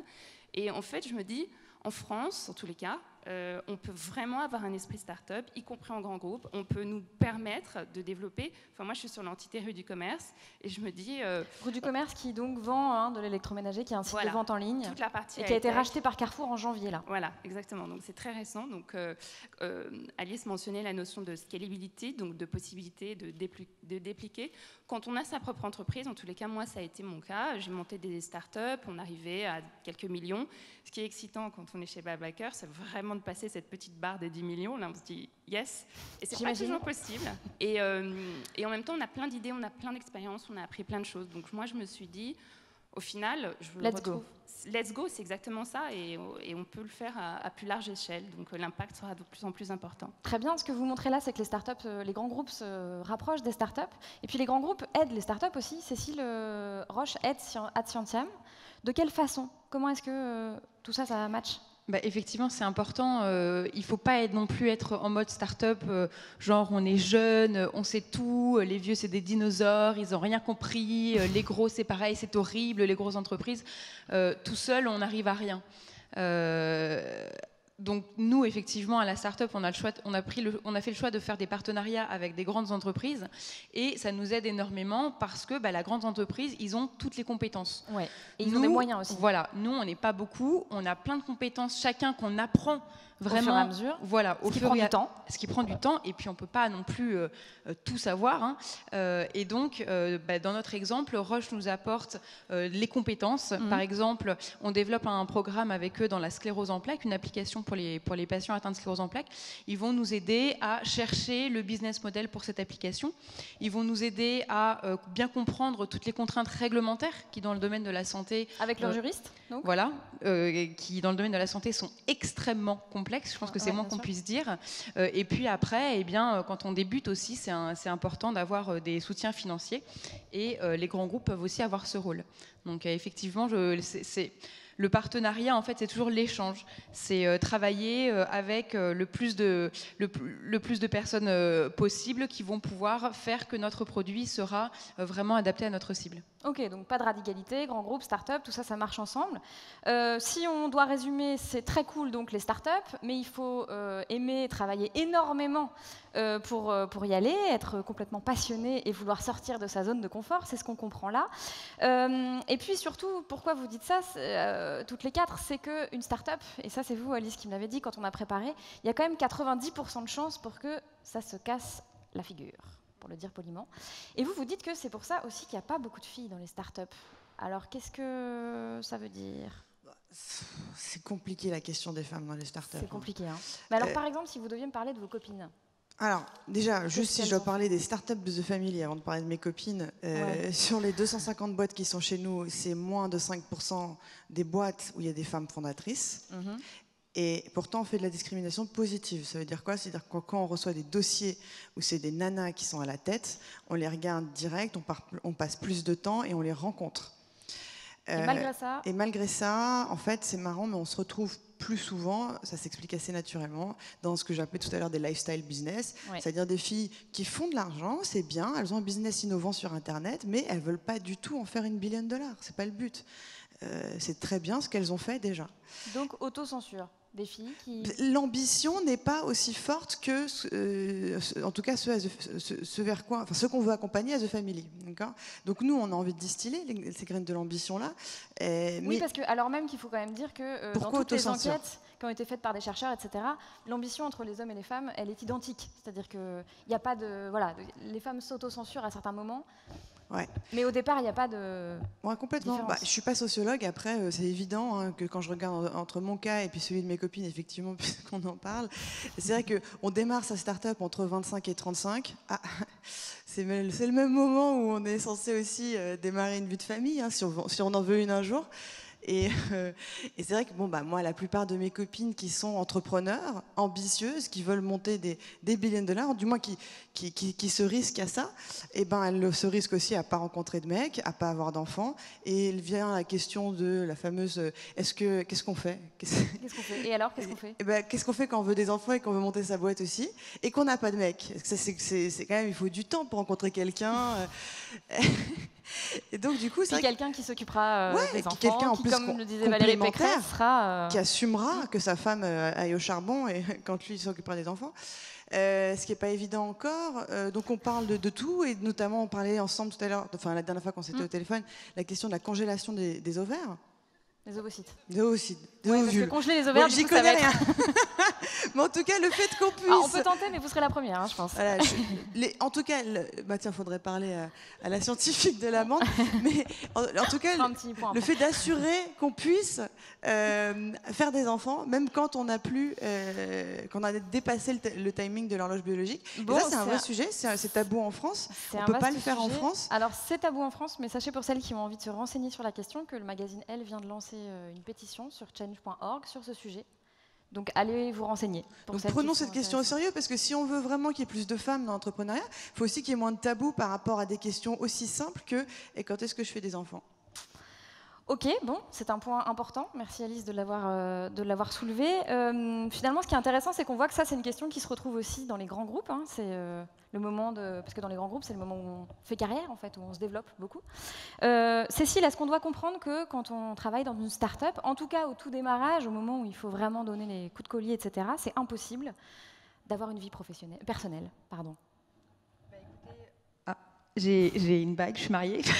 Félicitations. Euh, et je suis mariée à un entrepreneur qui a une boîte aussi. Et euh, ça fonctionne euh, très bien. Euh, je pense que d'avoir une vie personnelle, enfin, alors il faut, il faut apprendre. De toute façon, quand on, quand on se lance dans un nouveau métier, je pense que que ce soit dans une grande boîte ou dans une start-up, et qu'on sort de ses études euh, ou du bac, on, a, on va tous apprendre. Et donc moi, je pense que je suis passée par le même, euh, par le, le- le même fonctionnement où euh, je suis arrivée à l'hôpital. Au début, quand j'ai été interne et que j'avais des gardes, franchement, mais c'était pire. C'était pire, je travaillais euh, 24 heures d'affilée, euh, je rentrais chez moi, euh, euh, je m'asseyais sur mon lit, j'arrivais même plus à enlever mon manteau. Euh, donc euh, le boulot euh, à fond, euh, j'ai connu. Euh, le fonctionnement à la start-up, effectivement, il n'y a pas non plus tellement d'horaires, même si c'est pas des gardes de 24 heures. Et puis c'est plus prenant. L'hôpital, on rentre un petit peu chez soi et c'est fini, alors que la start-up, ça reste avec nous en permanence. Euh, donc il a fallu apprendre. Je suis passée par des moments où j'étais effectivement un petit peu épuisée sans même m'en rendre compte psychologiquement. On prend des vacances, ça va mieux, et puis au fur et à mesure, euh, on apprend que voilà, moi personnellement, euh, la clé c'est l'agenda. Euh, de maîtriser mon, mon agenda, c'est un peu la control freak peut-être qui est euh, quelque part en moi. Et, et après, on, se, on, apprend et on y arrive. hein. Laure, euh, vous avez une petite fille qui a 4 ans, je crois. Non, je me suis trompée. 3 ans et quelques. 3 ans et quelques, bon, voilà, Et entre deux 3 et mois. 4 ans. Euh, vu l'ambiance chez Blablacar, j'imagine que vous n'avez pas eu de mal, vous, à annoncer que vous étiez euh, enceinte? C'était euh, Racontez-nous. compliqué. En fait, euh, Ah. je, si j'avais pas travaillé chez Blablacar, je pense que j'aurais fait ma fille euh, peut-être deux ans plus tôt. Et clairement, j'ai repoussé le moment parce que Parce on que avait tellement de projets. Je me disais mais non, pas maintenant, c'est pas possible. On a ça à finir, ça à release, ça machin. On a l'ouverture de tel pays, c'est pas possible, c'est pas le moment. Euh, Votre professionnalisme finir- et votre engagement est allé jusque-là. Ouais, ouais. Et pour finir, bon après c'était complètement euh, acceptable d'attendre parce que j'avais que 28 ans. Finalement, je l'ai faite à 30 ans, ça va, c'est complètement euh, normal. Euh, mais euh, j'en ai parlé en fait avec euh, Frédéric Mazzella et, et Francis Nappé, voilà, comme ça vous savez vous êtes les cofondateurs de Blablacar. Euh, il se trouve que Francis avait eu une fille euh, quelques temps plus tôt et, et en fait j'ai abordé avec eux la question de euh, et si euh, vous pensez que si jamais je faisais un bébé, l'autorisation, en fait. L'air de rien, j'attendais un peu leur approbation et, et donc c'était pas fait, hein, mais je leur ai dit c'est dans mes plans. Enfin voilà, qu'est-ce que ce serait possible? Alors qu'on n'a pas du tout besoin de demander l'autorisation normalement, mais je sais pas. Non. J'avais cette envie d'en parler et le fait d'avoir leur réaction et de dire attends ça fait 4 ans que tu es à plus de 70 heures par semaine enfin c'est bon tu as, contribué largement tu es en surcharge depuis des années. Euh, oui euh, limite euh, ça me ferait des vacances en fait. Et effectivement ce qui m'a fait alors donc j'ai eu ma fille et clairement ça a été un avant après quand même il faut être honnête. Euh, j'ai l'impression d'être à mi-temps en fait euh, depuis 3 ans. Euh, je bosse juste 39 heures par semaine euh, au bureau. Euh, Vous partez à quelle heure euh, du bureau? Vous partez à quelle heure du bureau? Je pars à 19h pour être à 19h30, finir le dîner, prendre le relais pour, euh, bref, la fin de journée. euh, Et vous avez un conjoint qui est très Bonsoir. engagé aussi? Pardon? Vous avez un conjoint qui est très engagé aussi J'ai un conjoint famille? qui est super. il est, j'ai vraiment de la chance. Non, mais c'est important, c'est chose est- qu'on ouais. redit et redit, redit à l'active. Il est mais autant c'est entrepreneur important. et du coup, euh, du fait qu'il travaille à la maison, il est, il est directeur artistique et auteur de bande dessinée. Euh, ça lui va très bien finalement comme fonctionnement d'avoir du temps pour lui aussi euh, quand je suis pas là. Enfin bon, finalement, c'est un, un bon deal. Euh, et, mais mais c'est vrai par contre que j'ai quand même souffert au passage parce que euh, quand on bosse deux fois moins, euh, les projets avancent deux fois moins vite, j'étais plus dans toutes les infos les plus urgentes. Enfin, je me suis sentie au début un Vous peu. avez dû vous sevrer en fait. Ouais, non, mais c'est vrai, je, c'était un petit peu dur au départ d'avoir cette impression de ne plus travailler quasiment, alors que je faisais ma semaine, hein, mais j'avais l'impression de plus travailler. Bon, et en même temps, maintenant, vous êtes bien. Oui, voilà. Après, il faut, se, bien. il faut se retrouver des challenges qui permettent de ne pas travailler full-time jusqu'à 23h, mais d'être dans des choses moins urgentes, mais plus des projets un peu plus long terme. De vision, de stratégie, Exactement. Et là, ça fonctionne aussi. bien. Mm. Très bien, Alice. Je crois que vous vouliez pas être CEO au départ. C'est CEO, donc c'est c'est chef. hein. C'est grande chef, grand Manitou. Je Qui voulais vous pas. a dit Alors, euh, oui, justement, je, je rebondis tout à l'heure sur ce qui a été dit. À The Family, aujourd'hui, c'est une tyrannie complètement assumée. hein. Pour le coup, je suis la chef. Maintenant, c'est assumé.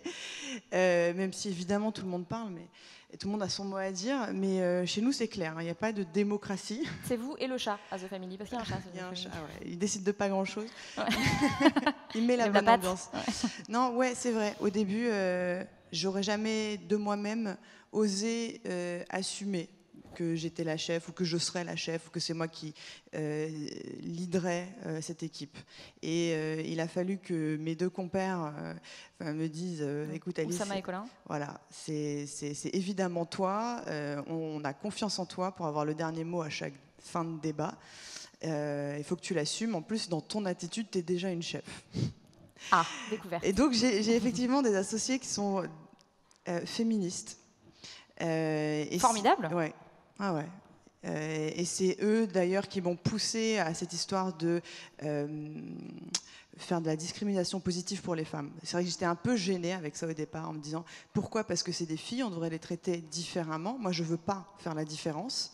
Mais en fait, dans les Mais en startups fait, de comme toute ailleurs, façon, euh, c'est- c'est- on part avec euh, des chances qui ne sont pas les mêmes. Donc, euh, effectivement, il faut euh, renverser le, le truc. il faut switcher. Bon, et alors euh, vous, à Tientiam, euh, Cécile, vous êtes euh, beaucoup de femmes?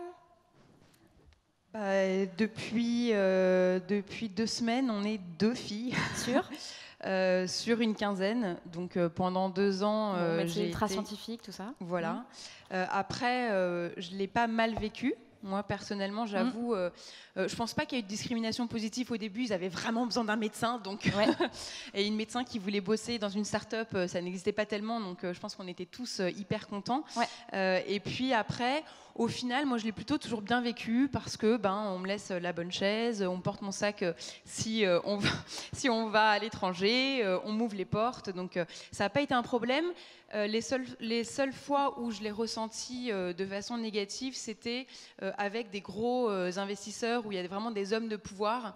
Euh, et là, euh, quand même, on, on sent bien la différence et la pilule a parfois du mal à passer. C'est-à-dire, exemple. Un bah, exemple. Tout le monde se demande là. Euh, ben, on a, donc on a eu affaire à un, un homme, donc investisseur euh, avec euh, beaucoup d'argent, qui a l'habitude à ce que euh, tout le monde aille dans son sens et ce qu'il pui- et qu'il puisse se permettre tout et n'importe quoi.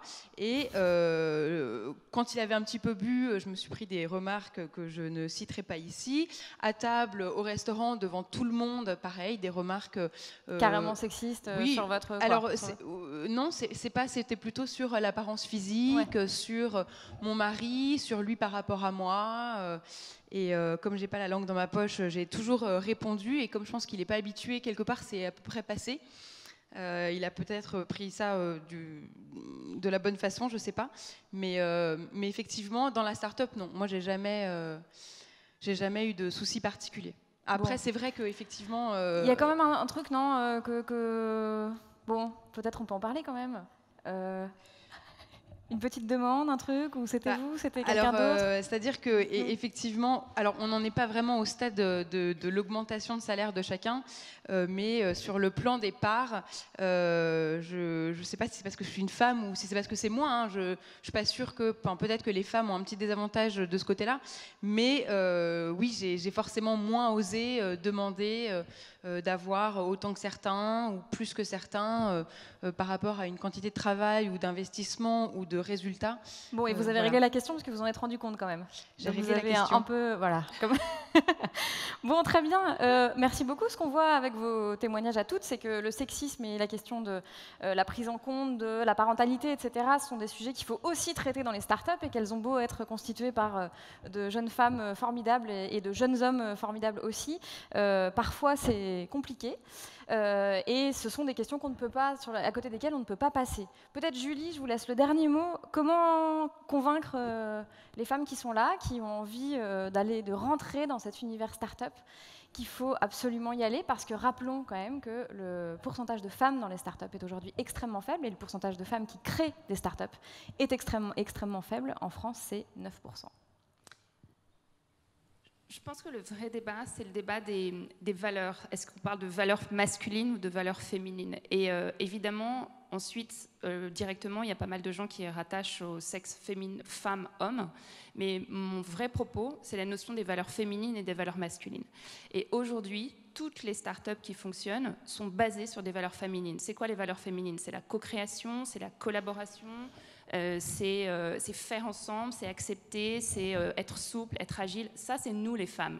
Mais en fait, c'est plutôt nous les valeurs Pas toutes, féminines. hein, c'est certaines. Enfin, Pas bon. toutes. Et justement, je vais en parler. Et les valeurs masculines, c'est plus des valeurs de compétition, autorité, organisation, hiérarchisation, etc. Ça, c'est des valeurs masculines. Tous les hommes ne sont pas comme ça.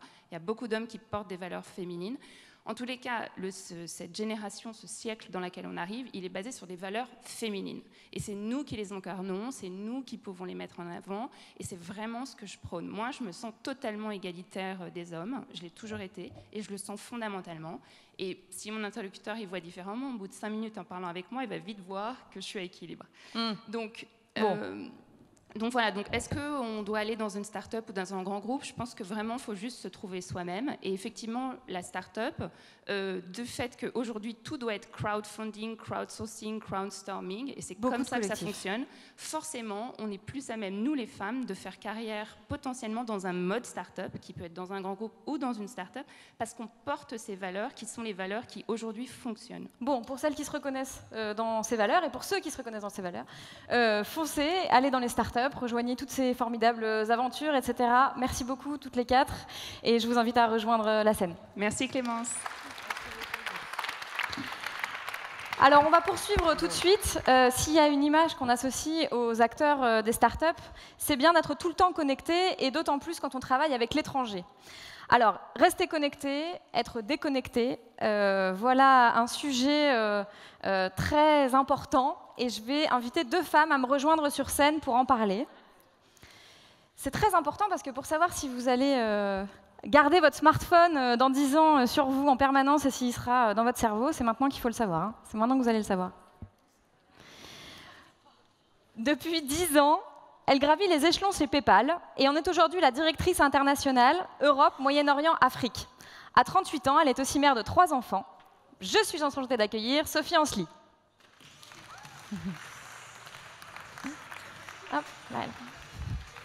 Parmi ses sujets de prédilection à la CGT, il y a l'égalité entre les femmes et les hommes au travail et il y a le droit à la déconnexion pour lequel elle milite fermement. À 33 ans, elle est secrétaire générale adjointe de la branche 4 de son syndicat. Merci d'accueillir chaleureusement Sophie Binet. Là-bas. oui, ça va être très pratique. J'ai deux Sophie ce matin. Est-ce que vous pouvez vous mettre euh, l'une, non, de part et d'autre? Voilà. Venez, venez, venez, Sophie. Ici. Voilà. Mettez-vous là. Bien, merci beaucoup d'être là. Vous avez laissé vos smartphones euh, là. Bon. très bien. Alors, on va se déconnecter un peu, se connecter profondément à notre sujet. Euh, Sophie, vous travaillez vous chez PayPal. Donc alors Sophie, donc Sophie Ansely, Sophie Binet. hein. On a deux Sophie, donc on va essayer de, s'y retrouver quand même. Euh, vous travaillez donc chez PayPal, qui est une entreprise du numérique qui a été créée en plein cœur de la Silicon Valley en 98. C'est- Les, les nouvelles technologies, ça veut dire quoi pour vous?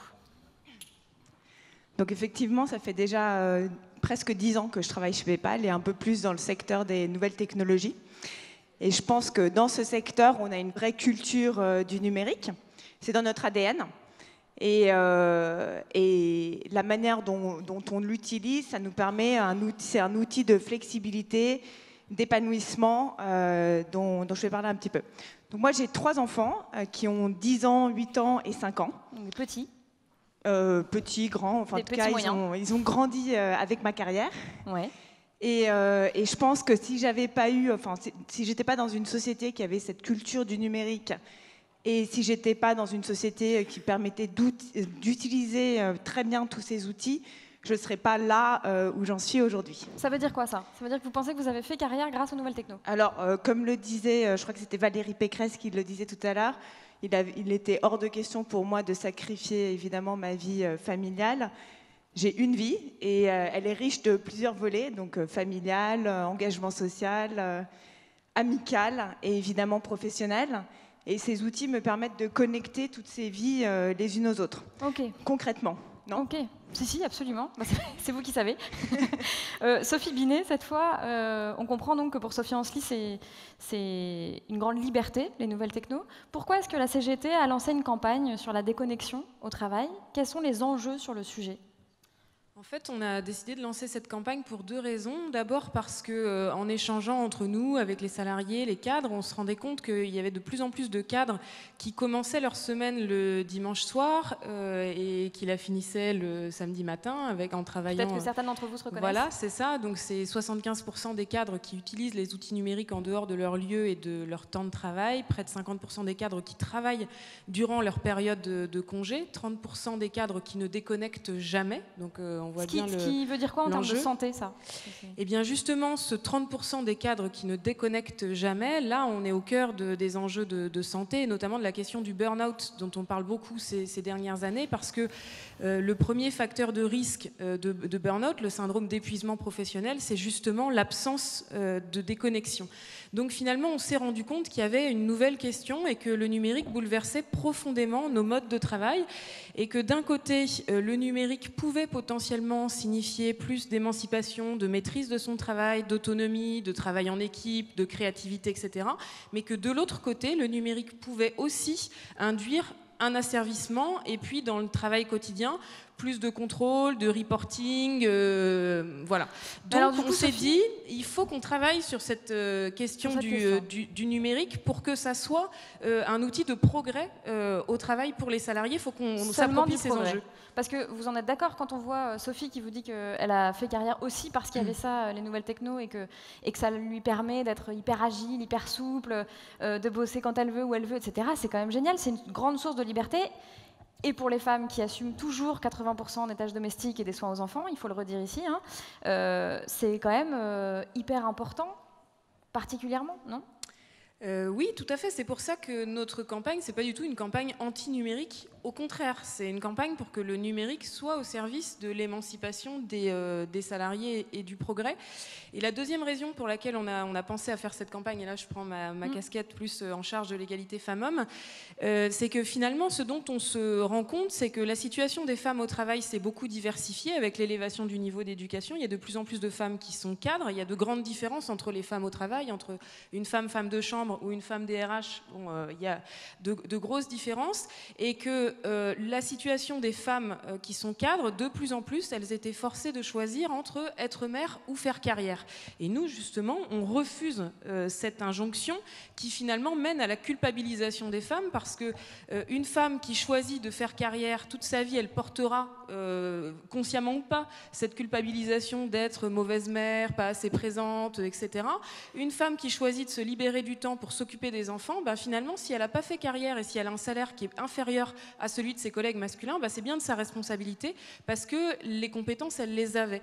Et donc, nous, on pense, à travers cette campagne pour le droit à la déconnexion, qu'il faut faire évoluer la norme de travail en entreprise, qu'il faut baisser la charge de travail pour toutes et tous, qu'il faut rompre avec le présentéisme pour permettre aux hommes comme aux femmes de faire carrière tout en s'occupant des enfants et en ayant une vie personnelle. Présentéisme, c'est-à-dire il faut rester très très longtemps au bureau, euh, faire des grandes amplitudes horaires, et c'est comme ça qu'on obtient euh, une augmentation de salaire. Mm. Euh, ok, bon, tout ça c'est une chose. Chez, chez PayPal, comment est-ce qu'on encadre Est-ce qu'on encadre déjà euh, cette notion d'usage des nouvelles technologies? Est-ce qu'il y a un système qui est mis en œuvre pour ça? Ou est-ce que chacun se débrouille quoi? Euh, on l'encadre. Depuis qu'on est, euh, depuis qu'on est rentré au Nasdaq euh, en juillet l'année dernière, on a mené des tas de chantiers de travail. dont un très important qui est qui on est, quelle est notre culture et de quelle, de quelle manière on souhaite euh, travailler? Donc on a défini, euh, on, a eu des, on avait des cultures, cultures euh, champions mmh. partout dans le monde et on a défini quelles étaient les bonnes, les bonnes pratiques, mais aussi quelles étaient les mauvaises pratiques. Et alors? Sur la déconnexion? Et, et, donc, effectivement, une des valeurs, c'est la collaboration. Et on s'est rendu compte que qu'il y avait des tas de manières d'être connectés, de collaborer les uns aux autres. Évidemment, les mails sont une des manières, mais euh, peut-être qu'on reçoit trop de mails. Hein. Je crois qu'il y a un chiffre euh, global qui dit qu'il n'y a que 5% des mails qui sont vraiment utiles. Après, il y a d'autres outils de communication qu'on utilise aussi. Euh, qui sont euh, par exemple WhatsApp, euh, par exemple Slack. Slack, c'est une application et puis c'est un qui permet de créer des channels, enfin des chaînes, quoi. et on suit les sujets au fur et à mesure. C'est une sorte de messagerie instantanée mais professionnelle, quoi. Voilà. Sur lequel on partage des documents, etc., etc. qui... Professionnel, on peut aussi l'utiliser de en perso, personnelle, hein, mais, et, en donc, mixte d'ailleurs aussi. On utilise, on utilise l'ensemble de ces outils et qui permettent d'être à la fois réactifs de manière différente. Alors évidemment, ça demande d'être connecté, enfin, si on le souhaite, mm. mais toutes ces... On, accompagne les employés dans, euh, dans l'utilisation. en fait. Oui. Vous êtes beaucoup sur l'éducation, sur accompagner euh, euh, les salariés à savoir dire non, c'est-à-dire à se sentir tellement bien. Et pas que le salarié d'ailleurs, parce mm. qu'on encourage le manager notamment. Ça fait vraiment partie de notre culture, mais ça depuis le début à avoir un dialogue régulier avec euh, ses équipes, le manager, mais aussi les personnes à l'intérieur de l'équipe, pour vraiment comprendre euh, quelle est sa définition du succès, qui va au-delà du succès professionnel, encore une fois. Hein. quelle est sa définition du succès personnel, familial, social et professionnel Et de quelle mesure on va, il va y avoir un fit entre la définition euh, personnelle du mmh. succès de cet employé et celle de l'entreprise tout ça permet ce dialogue et du coup d'être d'être en accord entre la mission de l'entreprise et la mission... Et les envies euh, d'épanouissement du salarié. Euh, Sophie Binet, à la CGT, vous considérez que retravailler le soir, c'est du travail au noir. Et vous militez activement pour qu'il y ait, comme en Allemagne, des trêves de mail. Est-ce que vous pourriez nous dire ce que ça veut dire Oui, En Allemagne, pas partout, hein, dans certaines entreprises, notamment Volkswagen. C'est ça. Euh, donc, si on revient sur la définition du, travail au noir, le travail au noir, c'est euh, travailler sans contrat de travail, ça, on, l'a tous en tête, mais c'est aussi faire des heures supplémentaires euh, non déclarées, non payées, non récupérées. Et donc, ce qui se passe aujourd'hui pour une majorité de salariés qualifiés, c'est que les heures supplémentaires, ni payées ni récupérées, explosent, avec un temps de travail moyen des cadres qui est de 44 h 30 par semaine. Pour les professions intermédiaires, c'est 42h30. Euh, et ceux qui ne sont pas au forfait jour euh, nous disent pour 50% d'entre eux que lorsqu'ils font des heures sup, elles ne sont ni payées ni récupérées. Et pour celles et ceux qui sont au forfait jour, c'est encore pire puisque le temps de travail moyen est de 46h30 par semaine. Je rappelle, je pense que tout le monde le sait maintenant avec le débat sur la loi El Khomri, que actuellement la durée maximale de travail est de 44 heures sur 12 semaines maximum. Pourquoi? Parce que au-delà de ce seuil, les menaces sur la santé sont beaucoup plus importantes, notamment les risques en matière d'AVC sont prouvés. Donc ces normes maximales de travail, elles sont extrêmement importantes pour la santé des salariés. Et en même temps, ce qu'on sait aussi au travers d'études, etc., c'est qu'aujourd'hui, au travail, on fait plus que son travail, on invite aussi sa vie privée dans son travail. Donc finalement, on revient à cette question de la flexibilité, mais est-ce que vous pourriez nous parler de la trêve de mail? Est-ce que vous pouvez nous dire ce que c'est que ce système? l'idée, Notre idée de, campagne sur le droit à la déconnexion, on l'a eu euh, aussi quand on s'est rendu compte de ce qui se passait en Allemagne. Donc c'est une campagne qui a été menée par le syndicat allemand du secteur de la métallurgie qui s'appelle euh, IG Metall, qui a lancé justement une campagne pour un droit à la déconnexion, qui s'est traduit dans un certain nombre de grandes entreprises allemandes, comme Volkswagen par exemple, où les serveurs de l'entreprise sont fermés entre 19h euh, et 7h euh, du, du, matin. Donc aucune réception de mail entre 19h et 7h du matin. Voilà, exactement. Et vous, vous voulez ça dans les entreprises? Nous, on considère que les périodes de repos des, des salariés, vous savez, pareil avec les débats sur la loi travail, je pense que tout le monde le sait, qu'aujourd'hui, dans le Code du travail français et dans les normes européennes, européenne et internationale, il, y a une obligation qu'il y ait 11 heures de repos non fractionnés pour les salariés pour garantir justement leur santé. Mm. Et donc, nous, on considère que le Code du travail doit s'adapter au 21e siècle et aux nouvelles technologies et que ces 11 heures de repos excluent le fait de recevoir des sollicitations professionnelles et donc des emails. et donc, il faut mettre en place des trêves de mails pendant les périodes de repos, les vacances et les week-ends. Sophie Ansli, ce serait possible ça chez PayPal? Alors, moi, je trouve que sensibiliser les entreprises à, ça, je trouve ça formidable. Ensuite, d'imposer euh, aux salariés d'avoir une trêve de mail, je, trouve ça. J'aimerais pas du tout qu'on m'impose ça à moi. Et euh, ça, m'aurait enlevé toute souplesse dans, la manière dont je gère ma vie et, euh, dont l'ensemble des salariés, enfin, qu'ils le souhaitent, gèrent leur vie. Donc, euh, encore une fois, euh, c'est un dialogue. Donc vous, vous êtes plutôt sur la responsabilisation de Voilà. chacun et sur enfin, l'accompagnement embauche. par les managers. Les employés sont des adultes autonomes et responsables. Et, euh, et donc, encore une fois, c'est ce dialogue qui va permettre de savoir à quel moment ils vont souhaiter lire leur mail ou pas. D'ailleurs, encore une fois, il n'y a pas que le mail. Sophie, Alors, mais la, vite, parce la- est très la responsabilisation, oui, mais la responsabilisation de qui? Et je rappelle qu'aujourd'hui, c'est l'employeur qui est en charge d'assurer la santé et la sécurité de ses salariés. Donc nous, on n'est pas d'accord pour qu'il y ait une culpabilisation et un transfert de cette responsabilité sur le salarié. Donc bien sûr que le salarié, si il a du travail en retard, si par exemple travailler dans son open space à 70, c'est pas possible de se concentrer parce qu'il y a un vrai problème lié aux open space, il préfère travailler le soir. On en Ça, a parlé hier, euh, en plénière. peut toujours le faire. Par contre, que son employeur lui adresse des sollicitations professionnelles durant ces périodes de congé et de repos, non.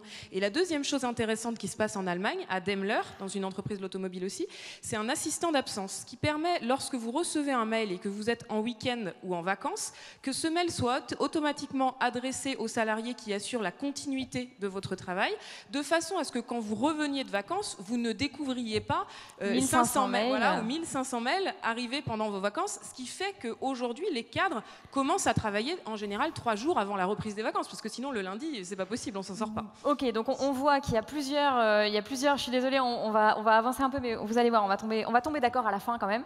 Euh, on voit donc qu'il y a euh, plusieurs politiques hein, sur ce sujet, c'est-à-dire il y a une approche très pouvoir public, il y a une approche très entreprise et responsabilisation de chacun et accompagnement de chacun dans le fait de savoir dire non. Ce que vous faites vous dans un cadre très général avec plusieurs mesures en réalité hein, pour favoriser ce bien-être-là. Euh, Peut-être vous pouvez nous parler de cette anecdote, c'est pas une anecdote d'ailleurs, c'est cette mesure qui donne un mois de vacances, parce que ça c'est quand même énorme, un mois de vacances tous les 5 ans Oui, alors on encourage euh, les, les employés à se reconnecter en fait avec eux-mêmes. Oui. Euh, et donc avec cette réflexion sur le succès, on a tous les cinq ans, on a un mois de congés supplémentaires rémunérés pour mener cette réflexion, encore une fois, sur est-ce que euh, je suis toujours en adéquation avec la mission de l'entreprise. On a également, euh, donc le bien-être, c'est une des quatre valeurs clés qu'on a, a définies. On a un prof de sport qui vient euh, au bureau deux fois par semaine pour, bah, pour inciter les gens, encore une fois, à se reconnecter. Et, et on est aussi incité, enfin l'autre jour j'avais une personne dans mon équipe qui, qui piétinait un petit peu sur l'avancement d'un projet et je lui ai dit, écoute, prends tes affaires, pars, tu reviens euh, dans deux jours euh, quand, euh, quand les choses se seront un petit peu... Et surtout, tu ne lis pas tes mails, tu fais rien, tu vas au cinéma, tu vas te promener. Elle est revenue donc- deux jours plus tard et les choses étaient beaucoup plus claires. Et elle n'avait pas lu ses mails. Bon, bah parfait. Alors ça, c'est pour toute la partie entreprise. Les pouvoirs publics, Sophie, la loi El Khomri, là, et c'est en partie grâce à vous d'ailleurs, euh, la CGT, intègre, inclut une dimension euh, sur le droit à la déconnexion. Et ce sera ma dernière question.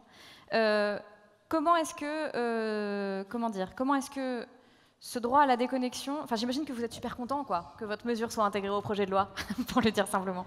Euh, alors, bien sûr, c'est une victoire, puisque quand on a lancé cette euh, campagne, on nous regardait comme des extraterrestres. Donc euh, oui, c'est une reconnaissance que nous avons posé une bonne question, mais malheureusement, la réponse n'est pas à la hauteur de la question, puisque le droit à la déconnexion, aussitôt annoncé, est déjà confisqué pour deux raisons. D'abord parce qu'il est mis en place de façon totalement non contraignante, puisque c'est à travers des chartes d'entreprise qui ne sont pas négociées et qui ne sont pas contraignantes pour le, le salarié. Et puis ensuite, la blague, c'est que sa mise en œuvre est annoncée pour le 1er janvier 2018. Euh, donc un droit aussi peu contraignant, j'ai du mal à comprendre pourquoi il faut deux ans pour euh, le mettre en œuvre. Et puis la dernière chose, c'est que dans la loi El Khomri, il y a des mesures qui sont complètement inverses avec ce droit à la déconnexion, notamment cette histoire de fractionnement des 11 heures de repos. Alors il y a eu un léger recul puisque maintenant c'est plus directement dans la loi, mais il y a une grande concertation qui va être organisée à la rentrée, donc c'est reculé pour mieux sauter. Euh, Mais le droit à la déconnexion, c'est justement dire que les périodes de repos ne doivent pas être fractionnées et qu'on doit pouvoir avoir 11 heures de repos consécutives euh, pour notre santé et notre sécurité. Donc 2018, effectivement, il peut s'en passer beaucoup de choses là-dessus. Sophie, en- ensuite, je vous laisse le dernier mot. Est-ce que finalement, dans 10 ans, cette question du droit à la déconnexion, selon vous, elle n'existera plus? En fait, peut-être ce sera un, su- un non-sujet J'espère. Et ben voilà, Euh, on le souhaite tous. Non, mais encore une fois, enfin moi, je n'ai pas d'idée et je n'ai pas d'énergie qui vient de, de- du fait d'être connecté. L'énergie, les idées, elles viennent parce qu'on se parle, parce que parce qu'on justement on va se promener dans un parc, on est en contemplation. Et, euh, et j'espère qu'on va aller de plus en plus vers des entreprises qui vont qui co- comprennent ça et qui ont ce dialogue avec euh, Bon, bah, avec leurs employés comme un tout. quoi. Alors connectez-vous via LinkedIn, mais aussi aujourd'hui, là, vous qui êtes toutes ensemble, eh bien connectez-vous les unes avec les autres, c'est formidable. Sophie, je suis désolée, on va devoir arrêter parce qu'on a beaucoup de retard. Merci beaucoup à toutes les deux. Merci, Et. Anne-Cécile, euh, je te relaisse la parole pour le- la suite de la matinée. Bravo, hein Bravo à toutes les Merci trois. beaucoup. Vous avez été formidables.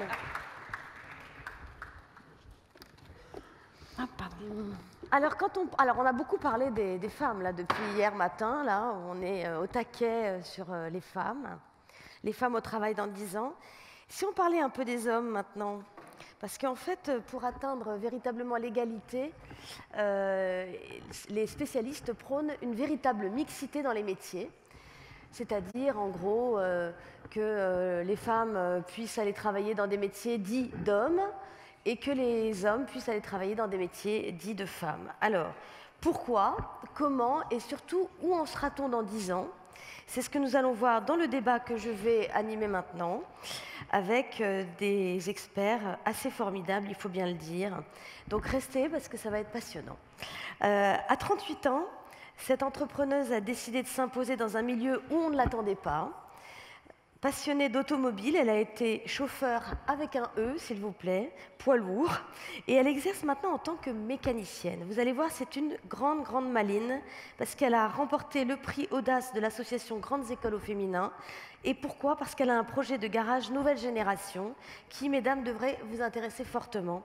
On a hâte d'en savoir plus. Venez nous rejoindre, Sandra Besson-Jaffreux.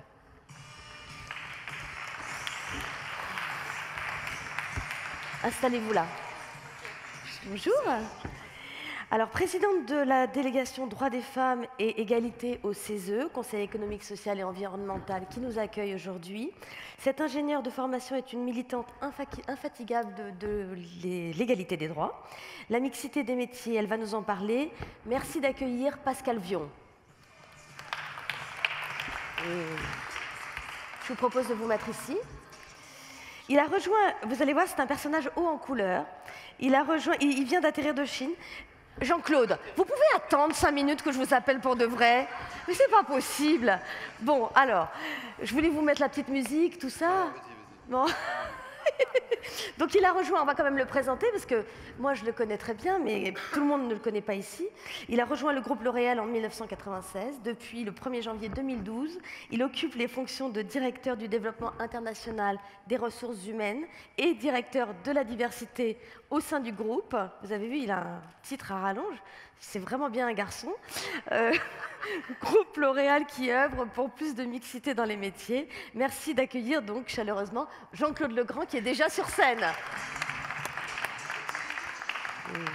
Alors, Pascal Vion, on va commencer par vous. Pourquoi c'est important la mixité des métiers pour l'égalité femmes-hommes au travail? Après tout, où est le problème qu'il y ait des femmes qui aillent dans des métiers de la beauté et des hommes qui aillent dans les métiers de la construction, par exemple Quel est le problème? Alors, euh, il n'y a pas de problème à partir du moment où c'est un vrai choix et que c'est un vrai choix euh, du fond du cœur. Ce que je veux dire par là, c'est que euh, les stéréotypes sont très très forts dans notre société. On est toujours sur le modèle, en tout cas, on est issu du modèle Monsieur Ganepin et Madame au foyer, et on reste dans ce modèle-là qui est là depuis extrêmement longtemps, puisque depuis la nuit des temps, la femme était là au sein de la famille que pour porter les enfants et pour pouvoir assurer la filiation. C'est pas moi qui le dis, ce sont les anthropologues, donc euh, on peut leur faire confiance sur ce sujet-là. Et donc l'importance aussi, c'est que euh, dans la filiation, il fallait savoir qui était véritablement le père pour qu'il puisse évidemment y avoir cette notion de filiation. Et donc on est issu d'un modèle où on a trouvé diffé- différents modèles d'enfermement des femmes pour qu'on soit assuré que cet enfant était bien de ce père-là et pas d'un autre. Vous Ce remontez à loin là. Alors, Donc, nous sommes tous issus de ce modèle, nous sommes tous encore très imprégnés de ce modèle, euh, même s'il y a plus d'une trentaine d'années, puisque finalement maintenant, ça fait. Les femmes sont vraiment rentrées massivement dans la vie active depuis les années 60-70, même si bien évidemment il y avait des femmes dans la vie active euh, auparavant, mais on voit bien encore que ce modèle perdure de manière consciente et de manière inconsciente. Donc euh, je prends un exemple qui est facile, qui est le mien. Féministe convaincue que je suis, il n'en demeure pas moins quand il a fallu que je m'arrête pour élever mes enfants, c'est moi qui l'ai fait, c'est pas le père de mes enfants. D'accord, mais alors, du coup, est-ce que vous avez choisi un métier de fille pour autant? Alors, j'ai choisi un métier plus ou moins de fille. Je suis ingénieur, certes, mais dans l'industrie de l'habillement. Donc, vous voyez que je suis Ah. quand même plus ou moins, euh, malgré tout, dans les deux. Mais là, c'était plus une question de, de- comment dire, d'appétence par rapport à ce que pouvait être l'industrie de l'habillement et pas forcément la mode en tant que telle, tant comme on peut l'entendre, puisque moi, j'étais dans la partie technique. Donc, euh, c'est pas la même chose. L'importance aussi de déconstruire les, les stéréotypes. Donc, quand je disais. Je voudrais juste que la- vous me disiez, après on va parler des stéréotypes, que vous me disiez pourquoi, pour arriver à l'égalité homme-femme, il est important qu'on aille vers la mixité des métiers. important parce que, il, enfin, euh, comment dire, euh, la mixité des métiers est une base pour que chaque femme ou que chaque homme puisse choisir véritablement le métier qu'il veut. Un, un coiffeur, Et aussi on va que- dire un coiffeur, il est coiffeur parce que il est homosexuel. Bon, bah non, c'est pas normal. Je veux Ah bah dire, on ne doit pas rester. là, non, mais on ne doit pas quand même, euh, Dans dans l'état d'esprit des gens, on est toujours sur ces modèles-là. Une femme ne peut pas être chauffeur poids lourd. Pourquoi est-ce qu'une femme ne pourrait pas Alors, être chauffeur je poids lourd comprends bien là, vous Donc, parlez il des est vraiment important mais- la liberté de choix de Ok, chacun. mais c'est aussi parce que, il me semble, parce que les femmes sont concentrées dans 12 familles seulement de métiers, Ah, alors qu'il y en a sûr. 80. C'est ça peut-être aussi qu'il les faut le métiers, redire. oui, les que- métiers à prédominance féminine sont effectivement sur 12 métiers, alors qu'il y en a, enfin 12 Enfin, 12 secteurs, branches, alors 12 qu'il y secteurs. en a 87 au total. Ça veut dire qu'on limite l'accès des femmes à un certain nombre de métiers et même à la grande majorité, voire quasi-totalité des métiers. Nous sommes autant de femmes que d'hommes sur Terre, donc pourquoi est-ce que les femmes ne pourraient pas, elles aussi, autant travailler? Pourquoi est-ce qu'on n'aurait pas 50% de femmes qui travaillent et 50% de femmes dans tel type de métier, 50% d'hommes dans tel autre type de métier? Donc ne bien. sectorisons pas les métiers euh, pour les uns ou pour les, les autres. Alors Jean-Claude Legrand, en quoi la mixité des métiers est-elle importante pour une entreprise comme L'Oréal? Une entreprise d'un secteur quand même plutôt féminin, la beauté? Ah, ça marche pas? Il doit marcher. Non, c'est là où c'est un cliché terrible d'imaginer que tous les coiffeurs sont homosexuels et que, euh, par Bah. définition, euh, tu fais de la beauté si tu es une femme. C'est absolument insupportable. Euh, Oui, mais alors- souvent, mais moi j'avais juste demandé un slide, mais il est peut-être pas là. Oui, mais le slide... oh, il- Tu l'as ou pas? Bien sûr, ben le voilà. Voilà, tu vois. Est-ce que ça, c'est le fruit de, euh, je sais pas, 20 ans Alors, de travail il faut peut-être l'expliquer le slide dans ce cas. Oui, c'est une entreprise, en l'occurrence la nôtre. Et puis, tu vois, il y a 15 euh, membres d'un comité exécutif, 237 positions clés et à peu près 1000 positions euh, qui sont des comités de Donc ça direction. nous montre la place des hommes et des femmes Oui, tu vois, ça te montre dans la les place des- postes un peu stratégiques. Hein, Non, c'est les- les- à- bah, tu as 1000 personnes dans des comités de direction dans le monde, 237 qui reportent à un membre du comité exécutif de L'Oréal et 15 membres. Tu vois, si on prend la position il y a 10 ans, on est passé de 7 à 33, 17 à 28. Vous avez beaucoup 20 progressé, mais enfin, on n'est quand même pas encore à la parité. Hein. Non, justement. Mais non, y a- c'est-à-dire que c'est dur. C'est Voilà. un long, long travail. hein, et cette espèce de cliché qui est de te dire, oui, non, mais chez L'Oréal, je comprends que vous fassiez ça parce que vous, vous travaillez dans l'univers de la beauté. Ça n'a rien à voir. Pendant très longtemps, L'Oréal, c'était une entreprise d'hommes qui faisait des produits pour les femmes. Exactement. Et si donc je compte le nombre de d'entreprises euh, qui doivent être présentes aujourd'hui, où euh, les femmes, parce que comme on l'évoquait là, les femmes font bien sûr le ménage, la cuisine, et donc euh, toutes les entreprises qui vendent des aspirateurs ou des plats euh, ou de la nourriture sont bien sûr euh, des entreprises dirigées par des femmes. Donc je pense qu'il n'y a pas de lien entre le métier de L'Oréal et le fait qu'il y ait des femmes ou pas. Il y a une volonté de l'entreprise affichée, ancienne, qui consiste à donner sa chance à des femmes. Tu l'évoquais tout à l'heure, j'étais pendant quelques jours là en Asie, je reviens de Chine, où effectivement on a la même volonté. Hein, Et Mehdi était lui-même en Chine pendant des années. Et donc, Donc, Mehdi Kouban, qui est le, Oui, fait, patron de L'Oréal Paris, notre en partenaire. France, oui, tout à fait. Et euh, pour le plus grand plaisir de Constance. Et donc, du coup, l'idée. Notre patronne, Constance, on est un et- peu entre nous, là, donc, pardon. euh, mais non, non, je non, mais- traduis. Hein. Non, non, mais l'idée, c'est comment tu décides qu'à un moment donné, tu donnes aussi sa chance à des femmes. Hein, comme l'évoquait Madame, il n'y a aucune raison que des femmes n'aient pas leur chance. Pourtant, il y a beaucoup d'entreprises encore aujourd'hui pour lesquelles c'est le cas. Tu vois Alors, c'est un sujet un compliqué sujet qui est compliqué. Alors, on et qui repose sur beaucoup de biais, comme vous l'avez expliqué. hein, parce que moi, j'ai la chance d'avoir plein d'enfants. J'ai quatre enfants et j'ai notamment des, des- des filles qui sont petites. Il y en a une récemment à qui j'ai proposé de faire du judo. Elle a 4 ans, elle m'a dit non, ça c'est pour les garçons. Donc j'essaie de réfléchir d'où lui est venue cette idée. Hein, d'où elle a eu l'idée de me répondre qu'à 4 ans, Ah oui. c'était pas pour elle. Donc on est quand même dans les stéréotypes. Alors justement, Sandra, je voudrais me tourner vers vous.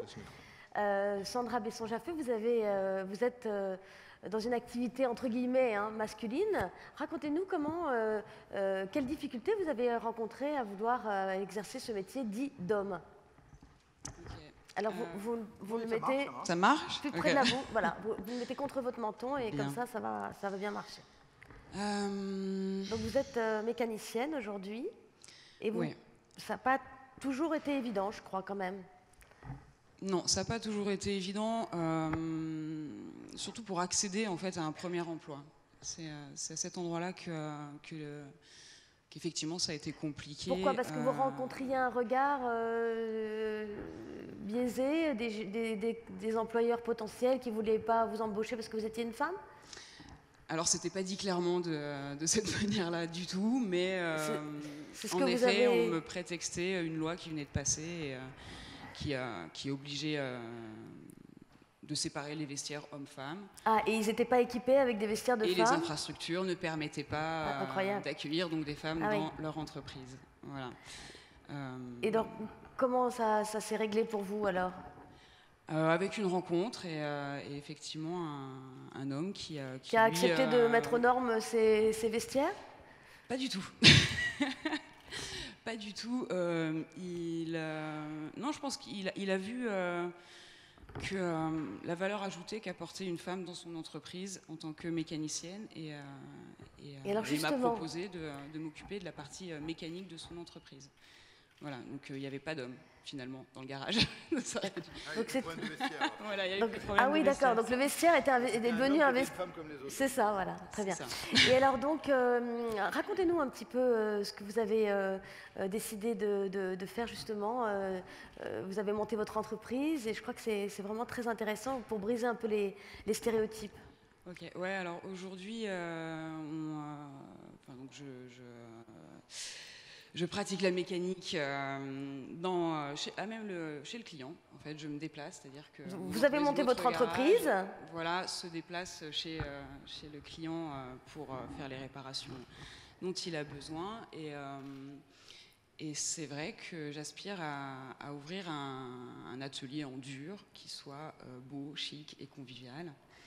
Et, Un peu, euh, qui, qui sentent un peu moins les, les produits euh, mécaniques Absolument, voilà, un, un endroit où on a envie de rester en fait, hein, tout simplement. C'est vrai qu'aujourd'hui les, euh, les garages, enfin tels que moi je les, euh, je les ai pratiqués et ceux que je connais, c'est pas des endroits où on a forcément très envie d'évoluer, euh, ni en tant qu'automobiliste donc que client, mais pas même en tant que professionnel. hein.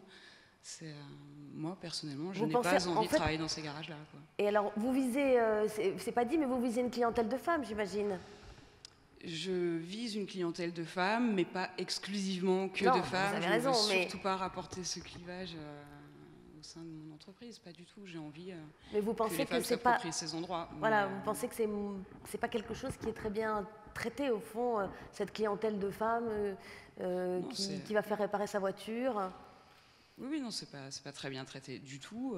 Enfin, moi, les femmes automobilistes que je rencontre, je sais que c'est un vrai point de douleur chez elles que d'amener le véhicule euh, C'est une au très bonne idée, mécanicien. hein. Donc, euh, donc il y a des, des vraies choses à faire et je, je pense savoir comment les faire. Ça va être que de la Alors. ça va être aussi de la conduite Attendez, euh, non, non, non, mais c'est intéressant. oh là là, Jean-Claude Legrand Ah non, non, mais je veux qu'il la pose, euh, que tout le monde entende. Est-ce que ça marche? Je sais pas. Je sais pas, je vais parler plus fort. Non, c'est amusant parce que. Ah non, non, non, avec le micro. Ah Voilà. Non, mais parce que c'était le cliché. C'est celui que tu vois tout de suite ce cliché, et bien sûr euh, sur la conduite automobile. Mais en fait, tu vois, je, je repensais aux chiffres que je viens de montrer. Le plus gros travail qu'on a mené et qui n'est pas terminé, c'est de former les gens à ces biais. Hein, nous aujourd'hui, Bah, aux on a- stéréotypes, oui, on, bien a, sûr. on a impacté 20 000 personnes pour, pour les faire s'exprimer sur les, sur les biais. De toute Il nature. faut expliquer peut-être un peu ce que c'est qu'un biais. euh, Bah, c'est de penser qu'une femme conduit mal au volant parce que Voilà. ton père, depuis qu'il conduit euh, au volant, ou que tous les coiffeurs sont homosexuels et les prud'hommes Voilà. sont d'accord. Tu vois, il y a un certain nombre de biais Il y a encore ça. beaucoup de boulot là. Ça recule même, tu veux que je te dise Hein, Plus on Ah avance, ah ouais, moi j'ai vraiment le sentiment. Bah, regarde, tu, tu- tu pars une semaine, euh, te rendre compte que tu, tu vas. J'ai entendu ce débat passionnant tout à l'heure sur la loi El euh, la marée humaine, debout la République. Tu passes une semaine à voir d'autres choses, tu reviens, tu es quand même inquiet, tu vois. C'est-à-dire que tu te dis, ça avance pas vraiment. hein, cette décision des prud'hommes, euh, cette façon de se comporter, euh, c'est- inquiétant quand même, non? Je sais pas, t'arrives, tu, écoutes- tu, tu, tu branches ta radio et tu entends que les prud'hommes ont, dit non, c'est pas grave. C'est normal qu'on puisse dire d'un coiffeur qu'il est pédé parce que c'est quand même un métier où il y a beaucoup d'homosexuels. Tu coupes, ta, effrayant. tu coupes ta radio, tu dis bon ben on va faire euh, elle active sur les hommes. Alors justement, mais c'est un- Elle c'est pour ça que je suis active. Mais on en parle. hein. Ouais. Alors justement, bah, c'est une très bonne transition parce que quand on s'est rencontrés il y a quelques mois pour parler de l'active, de tout ça, euh, Jean-Claude, vous m'avez dit quand même qu'aujourd'hui, euh, vous aviez au fond fait une telle politique pour promouvoir les hommes, les femmes. J'ai j'ai- lapsus. Promouvoir les, les- les femmes chez L'Oréal et pour les aider à accéder aux postes de décision, que maintenant peut-être vous aviez un problème de recrutement des garçons. Tout à fait. Alors, expliquez-moi. Ben, je vais t'expliquer parce qu'on a essayé de comprendre pourquoi. Alors, je vais te tutoyer du coup, Oui, hein, oui, parce oui. que là, euh, sinon que ça tu- fait un peu que tu- bizarre Non, hein, quand même. hein. se vous voyez? Bon, alors, en fait, on a essayé de comprendre, et la, et la réponse principale, qui est extrêmement intéressante, parce qu'on a essayé de chercher dans plusieurs pays, et la réponse est venue euh, aux États-Unis, c'est que les jeunes euh, talents qu'on essayait de chercher, on dit non, on, va être moins fort que les filles. On les a déjà vus sur les bancs de l'école, donc on va pas se mettre en compétition. Et donc, on, va être moins fort, en particulier pour le métier un peu cœur de L'Oréal, qui est de faire de l'innovation, de l'invention, que ce soit dans le domaine de la recherche ou dans les métiers du marketing, à l'heure du digital en plus. Et donc, ils ne veulent pas se mettre en compétition. Ils disent, on- on sent que votre entreprise est très attractive pour les femmes. Ah.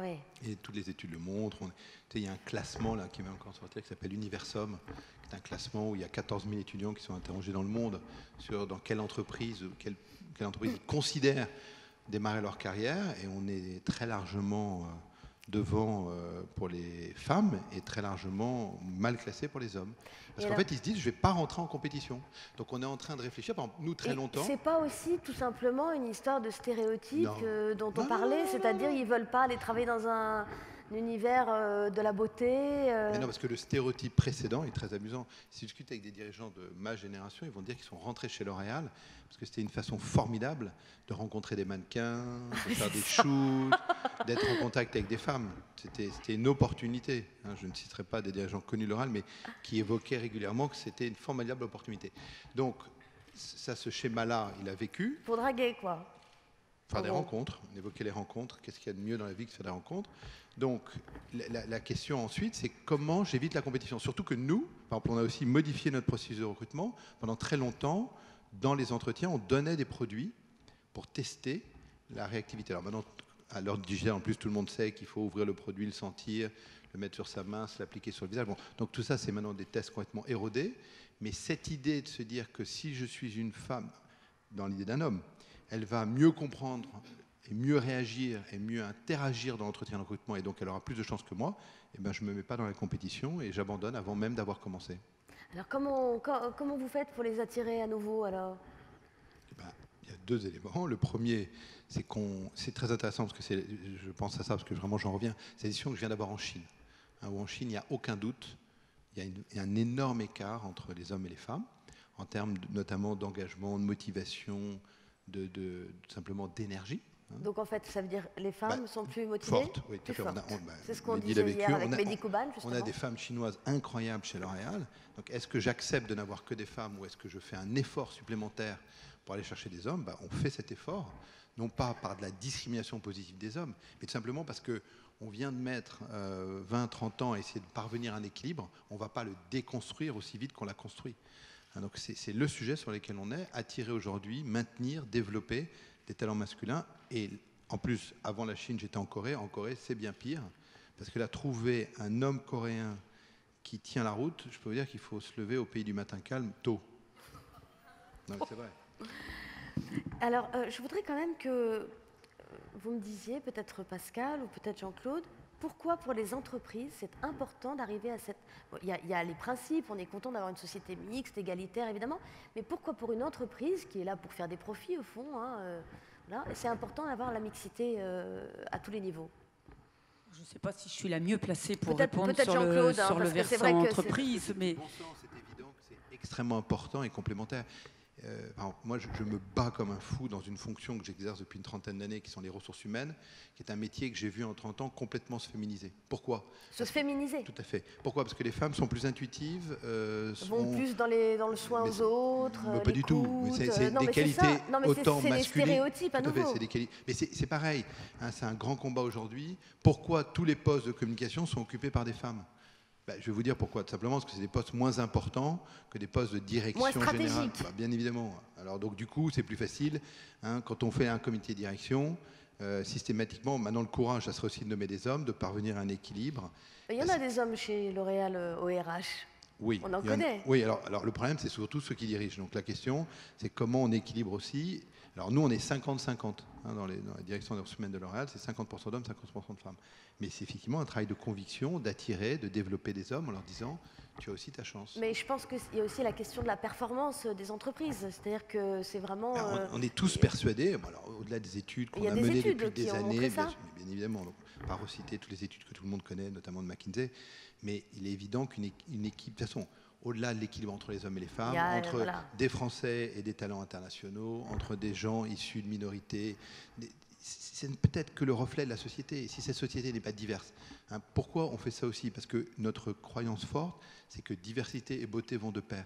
Il n'y a bien sûr pas qu'une seule vision de la beauté. hein. en Chine, une des raisons de notre réussite, c'est qu'on on est dans le marché chinois avec plusieurs marques différentes qui veulent dire euh, Shuemura, la beauté du Japon. Hein. et Shuemura, c'est resté au Japon. Il y a une histoire autour de Shuemura, qui est cette vision de la beauté de ce make-up artiste japonais aujourd'hui disparu, qui amène quelque chose. Il y a une vision de L'Oréal Paris, qui est une vision différente de celle de, euh, je sais pas, Yusai, qui est une magnifique entreprise chinoise de beauté qu'on ne distribue pas encore en France, mais peut-être un jour. Alors, je voudrais revenir un peu sur le projet entrepreneurial de Sandra, enfin, le projet qui est, euh, un projet de développement, mais ça existe déjà. Qu'est-ce que vous allez mettre dans votre, euh, dans votre atelier euh, en rêve, là, qui, euh, qui mettrait un peu plus de mixité dans, dans- votre atelier Décrivez-nous votre, votre projet euh, de, de, pour, pour, pour mixiser un peu plus votre, votre atelier. Alors, euh, je ne veux pas faire une équipe. euh, Vous allez mettre un peu des palettes de chez L'Oréal Paris ou je sais pas. je- je- je- Est-ce que pendant que est-ce que vous allez euh, mettre des, des ateliers de maquillage pendant que les femmes feront euh, réviser leur voiture, elles pourront se faire maquiller par L'Oréal dans le garage? Je sais pas. Je, je- euh, Alors, c'est une bonne idée, non? C'est une possibilité, effectivement, d'apporter faire un peu massage, de, des pas. événements dans l'atelier, oui. Non, mais c'est génial votre truc Après, là. il n'y aura pas un salon de beauté dans Bon, le garage. non, C'est pas d'accord, non plus pour moi l'idée. En revanche, il peut y avoir effectivement des, euh, ce type d'événement. Bah oui, euh, pendant qu'on attend. euh, c'est, on- oui, mais tout est, tout est Parce envisageable. que c'est vrai que c'est quand même le pensum d'aller faire réviser sa voiture. Ce hein. que Moi, je veux, c'est c'est pour les insupportable. hommes aussi. Ce que je veux, c'est apporter du beau parce que, enfin, le- Du beau. Alors, par comment vous allez- de l'automobile, c'est quand même du design, c'est quand même. euh, Comment vous allez apporter du beau dans votre atelier? Ok, euh, c'est un peu difficile de l'expliquer en quelques mots. J'avais des très, C'est de la déco. slides En fait, c'est de la déco. Oui, il y aura un effort à porter effectivement sur, euh, sur la déco, sur l'accueil aussi, sur, Ouais. euh, sur euh, des espaces qui permettent Moi, je pense que vous allez, vous allez car- cartonner. hein. de se poser et de voir ce qui se passe dans l'atelier. Et, et si je peux avoir une équipe euh, mixte, euh, j'en serais absolument ravie, et euh, des mécaniciennes femmes. Et vous avez du mal à euh, trouver des mécaniciennes femmes? J'ai du mal à trouver des mécaniciennes femmes, oui, ouais, clairement. ouais. C'est encore euh, difficile. Alors Pascal, justement, je vous vois opiner. euh, euh, vous, vous pensez que dans 10 ans, on aura progressé, on y sera, la mixité des métiers dans 10 ans ou pas? Non. Ah. Dans, dans 10 ans, non. On ne sera Non. pas dans la mixité des métiers, ça c'est à peu près évident. Euh, on aura progressé. Je, je partage quand même euh, votre avis sur le fait plus on avance et plus on a l'impression qu'on recule. Donc Ah c'est bon effectivement Oh, très paradoxal et du coup, euh, mais bon, il faut rester, il faut rester positif, Bah donc oui. se dire qu'on va y arriver. On a entendu quand même nombre de témoignages de femmes qui ont envie Mais bon, alors Oui, les sans, sans rentrer là, dans juste des avant, elles choses, étaient euh, formidables. Très techniques, je vais faire un lien avec ce que vous avez dit tout à l'heure quand même sur les entreprises. Certes, il y a des entreprises qui veulent des femmes, des fois c'est des femmes alibi aussi, et on voit bien quand même qu'aux postes les plus élevés, il n'y a pas de femmes. CAC 40 pour l'instant, il n'y a, pas- de femmes. Bientôt, peut-être, ça fait un moment Ouais. qu'on en parle, donc peut-être qu'elle arrivera. L'épisode Mais en tous les cas, c'est- voilà, pas ça, c'est pas ça qui est ça. Dans toutes les entreprises, on voit bien euh, que de toute façon, c'est très difficile. Il y a le plafond de verre, donc les femmes ont du mal à accéder aux postes aux plus hautes responsabilités. On leur donne certains postes effectivement de direction, mais qui sont des, des postes qui ne sont pas les postes en tous les cas à plus haute responsabilité. Dans les conseils d'administration, il a fallu une, une Bah, loi, la loi été pour très les quand entreprises, même. mais pour les non, mais les, les structures qui ne rentrent pas dans Eh cette loi, on voit bien comme c'est difficile d'avoir des femmes qui sont dans les conseils d'administration, même sur la- alors cette notion de parité, on est quand même sur une parité 60-40. On ne parle même pas dans la loi d'une parité 50-50, vrai. ce qui est quand même déjà un petit peu grave quand même sur le principe. En tous les cas, même 60-40, on a du mal à y arriver. Donc on voit bien quand même qu'il y a encore beaucoup de difficultés pour des Ce tas de raisons. Il faut d'abord aller chercher les femmes, parce qu'on dit des femmes, on n'en trouve pas, mais forcément, si on ne les cherche pas, on risque pas de les trouver. Mais donc, il y a quand même toute cette difficulté. Après, euh, dans les études, il y a un indice qui est un indice qui est très parlant, qui s'appelle l'indice de dissimilarité, qui est utilisé donc par les économistes, qui globalement nous dit euh, combien est-ce qu'il faudrait qu'il y ait de personnes qui changent de métier, donc de prédominance, de passer des métiers d'hommes de métiers à prédominance masculine vers des métiers à prédominance féminine et des femmes de métiers à prédominance féminine vers masculine pour qu'on arrive à la parité. Il en faut, à l'heure actuelle, il faudrait que la moitié des personnes qui travaillent changent de métier, donc aillent dans l'autre pour pouvoir, euh, pour atteindre la mixité. Donc, faut qu'on se reconvertisse toutes pour aller travailler avec 60-40. Sandra dans Voilà, son la garage. mixité 60-40. Et cet indice n'a progressé que de 4% en 28 ans. Oh là là alors, là. quand on se dit, alors on va être optimiste, on va se dire, on va progresser d'un petit peu plus. Ça va plus vite chez L'Oréal, Les hein. 4% tous les ans, oui, mais parce qu'il faut qu'il y ait une réelle volonté. Bah oui. S'il n'y a pas la volonté, on n'y arrivera pas. Mais ça veut dire que dans 10 ans, non, il n'y aura pas la mixité, euh, la mixité des Bon. métiers. Donc euh, on, on aura probablement avancé parce qu'il y a des femmes qui ont aussi envie, comme vous, hein, comme d'autres, mais après là aussi c'est difficile. Vous l'avez pas évoqué, mais euh, souvent aussi les femmes disent quand elles vont dans des formations de garçons, euh, c'est pas facile pour elles pendant la formation. Certaines sont très bien accueillies, d'autres sont très très mal accueillies et on leur en fait voir parce que ce sont des filles. Je veux dire, les femmes dans l'armée, si on prend. euh, et l'armée française, qui est quand même l'armée où il y a le plus de femmes, 15% de femmes quand même dans l'armée française. Le Ouais. plus de pourcentage par rapport à l'Europe. Mais il y a des femmes dans l'armée qui en bavent véritablement, quoi. Donc il sûr. faut se rendre compte que c'est difficile. Ce que ne disent pas, a priori, les hommes qui sont dans des formations à prédominance féminine. Eux disent qu'en général, ils sont bien accueillis pour ce qu'ils sont et euh, bon voilà, qu'il n'y a pas de difficulté. Mais ce qui n'est pas encore le cas pour les femmes. Donc on voit bien que de toute façon, pour qu'on puisse arriver à la mixité, il faut vraiment déconstruire ces stéréotypes. Ça veut dire qu'il faut que tout le monde sache d'où ils viennent, pourquoi, et qu'il y ait véritablement l'envie de, de déconstruire ces stéréotypes. Il faut au niveau de l'orientation, ça c'est de Ouais, toute bah, façon. il y a le parcours important. des étudiants, je ne suis pas certaine que même dans le parcours, on les incite finalement à aller, à aller les filles à aller vers des métiers dits de garçons et l'inverse des garçons à aller vers des métiers dits de filles. Donc je suis désolée, je ne suis pas hyper optimiste. Bon, Jean-Claude, Peut-être dans que 10 dans ans, 50 ans. L'Oréal, dans 10 ans, je- je 50-50 euh, tout en Non, haut mais ça, on sera, on sera à 50-50 à, à la fin de 2016, donc il n'y a pas de problème. Non, mais tout en haut, Ah, tout en haut Non, moi, mais je parle tout en tout en haut. En fait, paradoxalement, tout en haut, avec l'élan qui est le nôtre aujourd'hui, c'est pas très compliqué, puisque comme vous l'avez vu, c'est 14 personnes. J'ai 5, il y a 5 femmes aujourd'hui, il suffirait d'en avoir deux de plus. Par contre, je compléterai deux points qui me semblent intéressants. Le premier, par exemple, nous, chez L'Oréal, c'est une femme qui est une ingénieure de formation, qui s'appelle Barbara Lavernos, qui est la patronne de ce qu'on appelle les opérations, c'est-à-dire tout l'univers industriel, 42 usines, l'ensemble de notre chaîne euh, logistique, 170 centrales d'expédition dans le monde, vienne 3000 à Elle ingénieurs. On l'appelle, elle, on l'appelle, elle peut venir. Barbara, elle habite pas loin, on va, on va on. Tout à fait. Et, et quand on discute avec elle, c'est très intéressant parce qu'elle a 25 ans d'un parcours industriel sur le terrain. Elle a été notamment directrice d'une usine. Bah, bien évidemment, on se rend bien compte que les stéréotypes, ont la vie dure, mais aussi parce que la plupart des gens qui dirigent, et c'est souvent ce que j'explique, c'est pour ça qu'il faut, il faut les combattre ou les faire changer, mais il ne faut pas nécessairement leur en vouloir. Hein, parce qu'ils ont été dans une école où il y avait Bien une sûr. différence entre les hommes et les filles. Moi, je rappelle qu'il y a une école qui existe toujours, qui s'appelle l'EPF, hein, l'école polytechnique féminine, parce que c'était clair et tout le monde l'acceptait. Ici en France, il y avait une école polytechnique et puis une école polytechnique pour les filles. Et Je comme il y a eu pas- HEC euh, jeunes filles. alors, mais ça, ça euh, c'est terminé, ça. Mais EPF, mais- il existe, elle existe encore l'école. Alors maintenant, il y a eu des hommes. Mais c'est extrêmement intéressant d'imaginer que c'était comme ça. Bah oui, C'était, les gens étaient élevés comme ça, avaient ça en tête. Donc déconstruire, avancer. Maintenant, mon deuxième point, c'est la loi, hein, parce que nous, on se bat pas que sur l'égalité entre les hommes et les femmes. Et Il y a un sujet très important dont souvent les gens ne parlent pas, qui est l'égalité salariale. hein. c'est que Bah, c'est important sûr, de faire évidemment. monter des On femmes. parle- nous, l'égalité salariale, c'est un problème qu'on a réglé. Il nous a fallu du temps, et notamment au moment du congé maternité, parce que c'est à ce moment-là que se créent des écarts. C'est comment on s'engage à augmenter des femmes en congé maternité de la moyenne des gens de la même, euh, du même euh, batch, enfin, du même coefficient si on est en France. Mais la, la loi, par exemple, si je vais sur un sujet tr- très important pour nous qui est le handicap, il est évident que c'est parce qu'il y a une loi, Ah oui. avec des contraintes des malheureusement très faibles, que les entreprises bougent. hein. Alors il y a deux façons de faire. Il y a une façon volontaire, volontariste, c'est nos valeurs à nous. Et puis il y a des gens qui n'avancent que sous la contrainte. Bah oui, bien sûr. Hein, Et donc là, là Bon, encore, on l'a bien vu, hein, hein. la, la loi sur euh, Bah, la parité Copé dans les- Zimmermann, il y aurait- je suis Euh, désolé, je suis voilà. désolé, mais il n'y aurait pas eu la loi Copé Zimmermann. Mais ça serait Il n'y aurait pas- pas bah, bien 40% sûr. de femmes administrateurs. Bon. Tout le monde trouverait normal que finalement c'est plus compliqué, elles n'ont pas le temps, Ouais. elles ont plein d'autres choses à faire, elles Les ne sont pas formées. Mm. Voilà. Absolument. Bon, écoutez, merci à tous les trois, c'était formidable. Et euh, on va quand même garder une note optimiste, parce qu'on voit quand même qu'il y a des choses qui bougent, et que c'est pas pour ça qu'il faut renoncer, c'est pas parce que dans 10 ans on n'y sera pas qu'il faut renoncer à continuer à se, à se battre, et, et à la fois le pouvoir de la loi, le pouvoir macroéconomique, ce que les entreprises peuvent, faire, ce que euh, les pouvoirs publics peuvent faire par cette- certaines lois.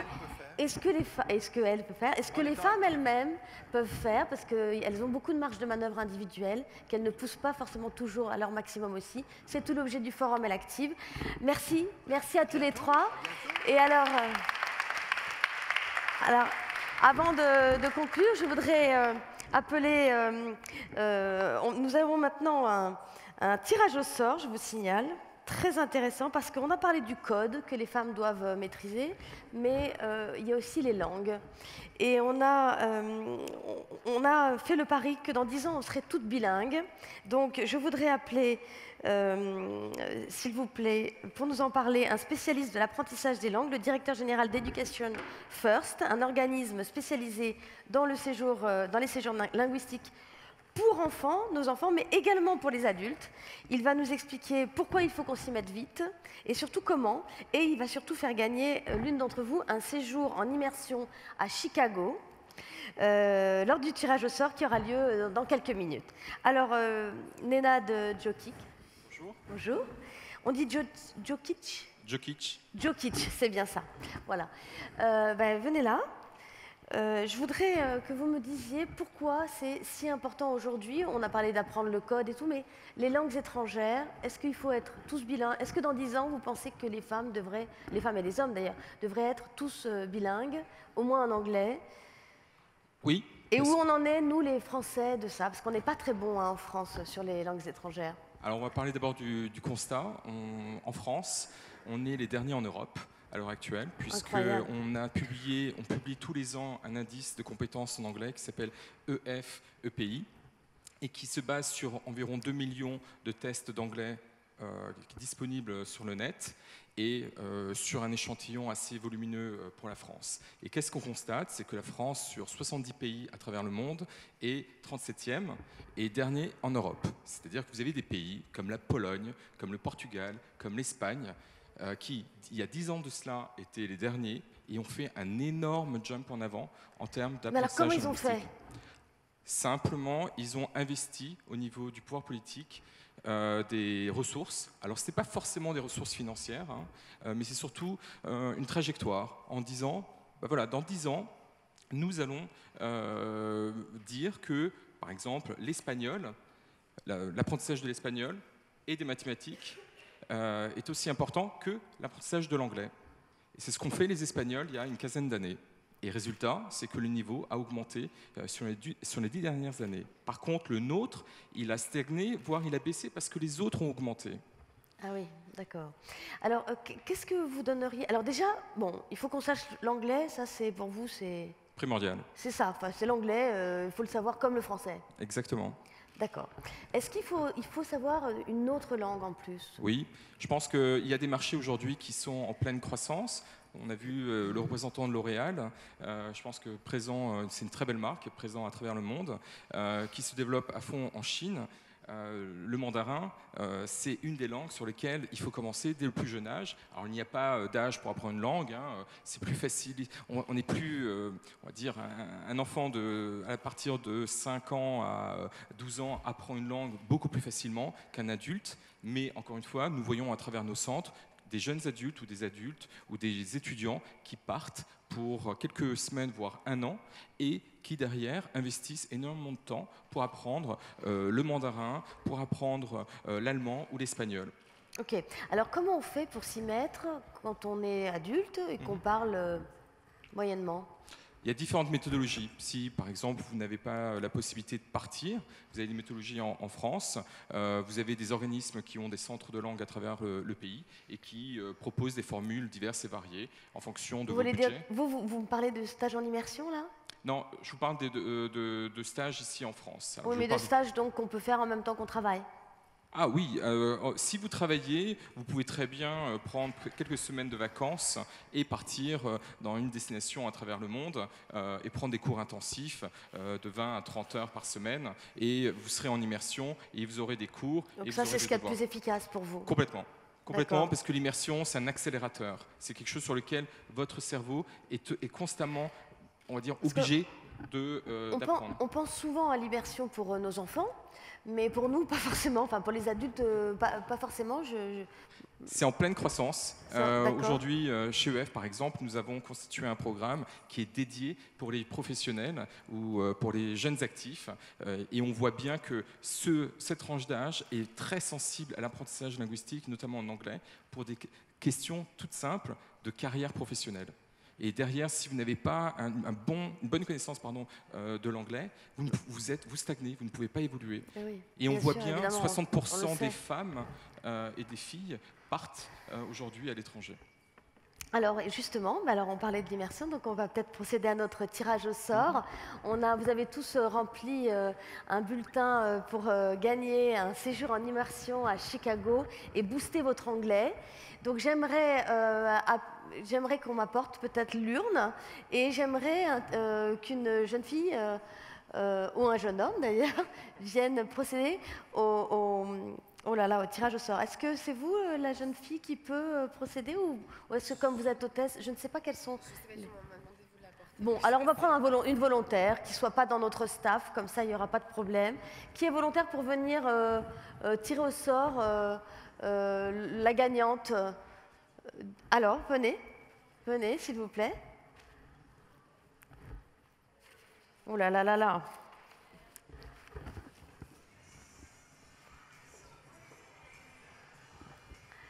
Alors, allez-y, vous, plongez dedans. Non, mais plongez dedans pour être un peu... Voilà, voilà. C'est dr- C'est c'est drôlement sympa, en tout cas, que, EF nous ait euh, proposé, de gagner, enfin, proposé à l'une de nos participantes de gagner un séjour, parce que je pense que c'est vraiment... euh, alors, dites- dites-moi, attendez, donnez-moi ça. Alors, qui a gagné le séjour? Il s'agit d'Aurélie Gavoy. Est-ce que Aurélie est là? Oh là là là là Elle est peut-être sur le forum. Il faudrait peut-être l'appeler au micro. Aurélie Gavoy. Est-ce qu'on peut l'appeler dans le forum Si elle est encore là, ce serait génial qu'elle vienne.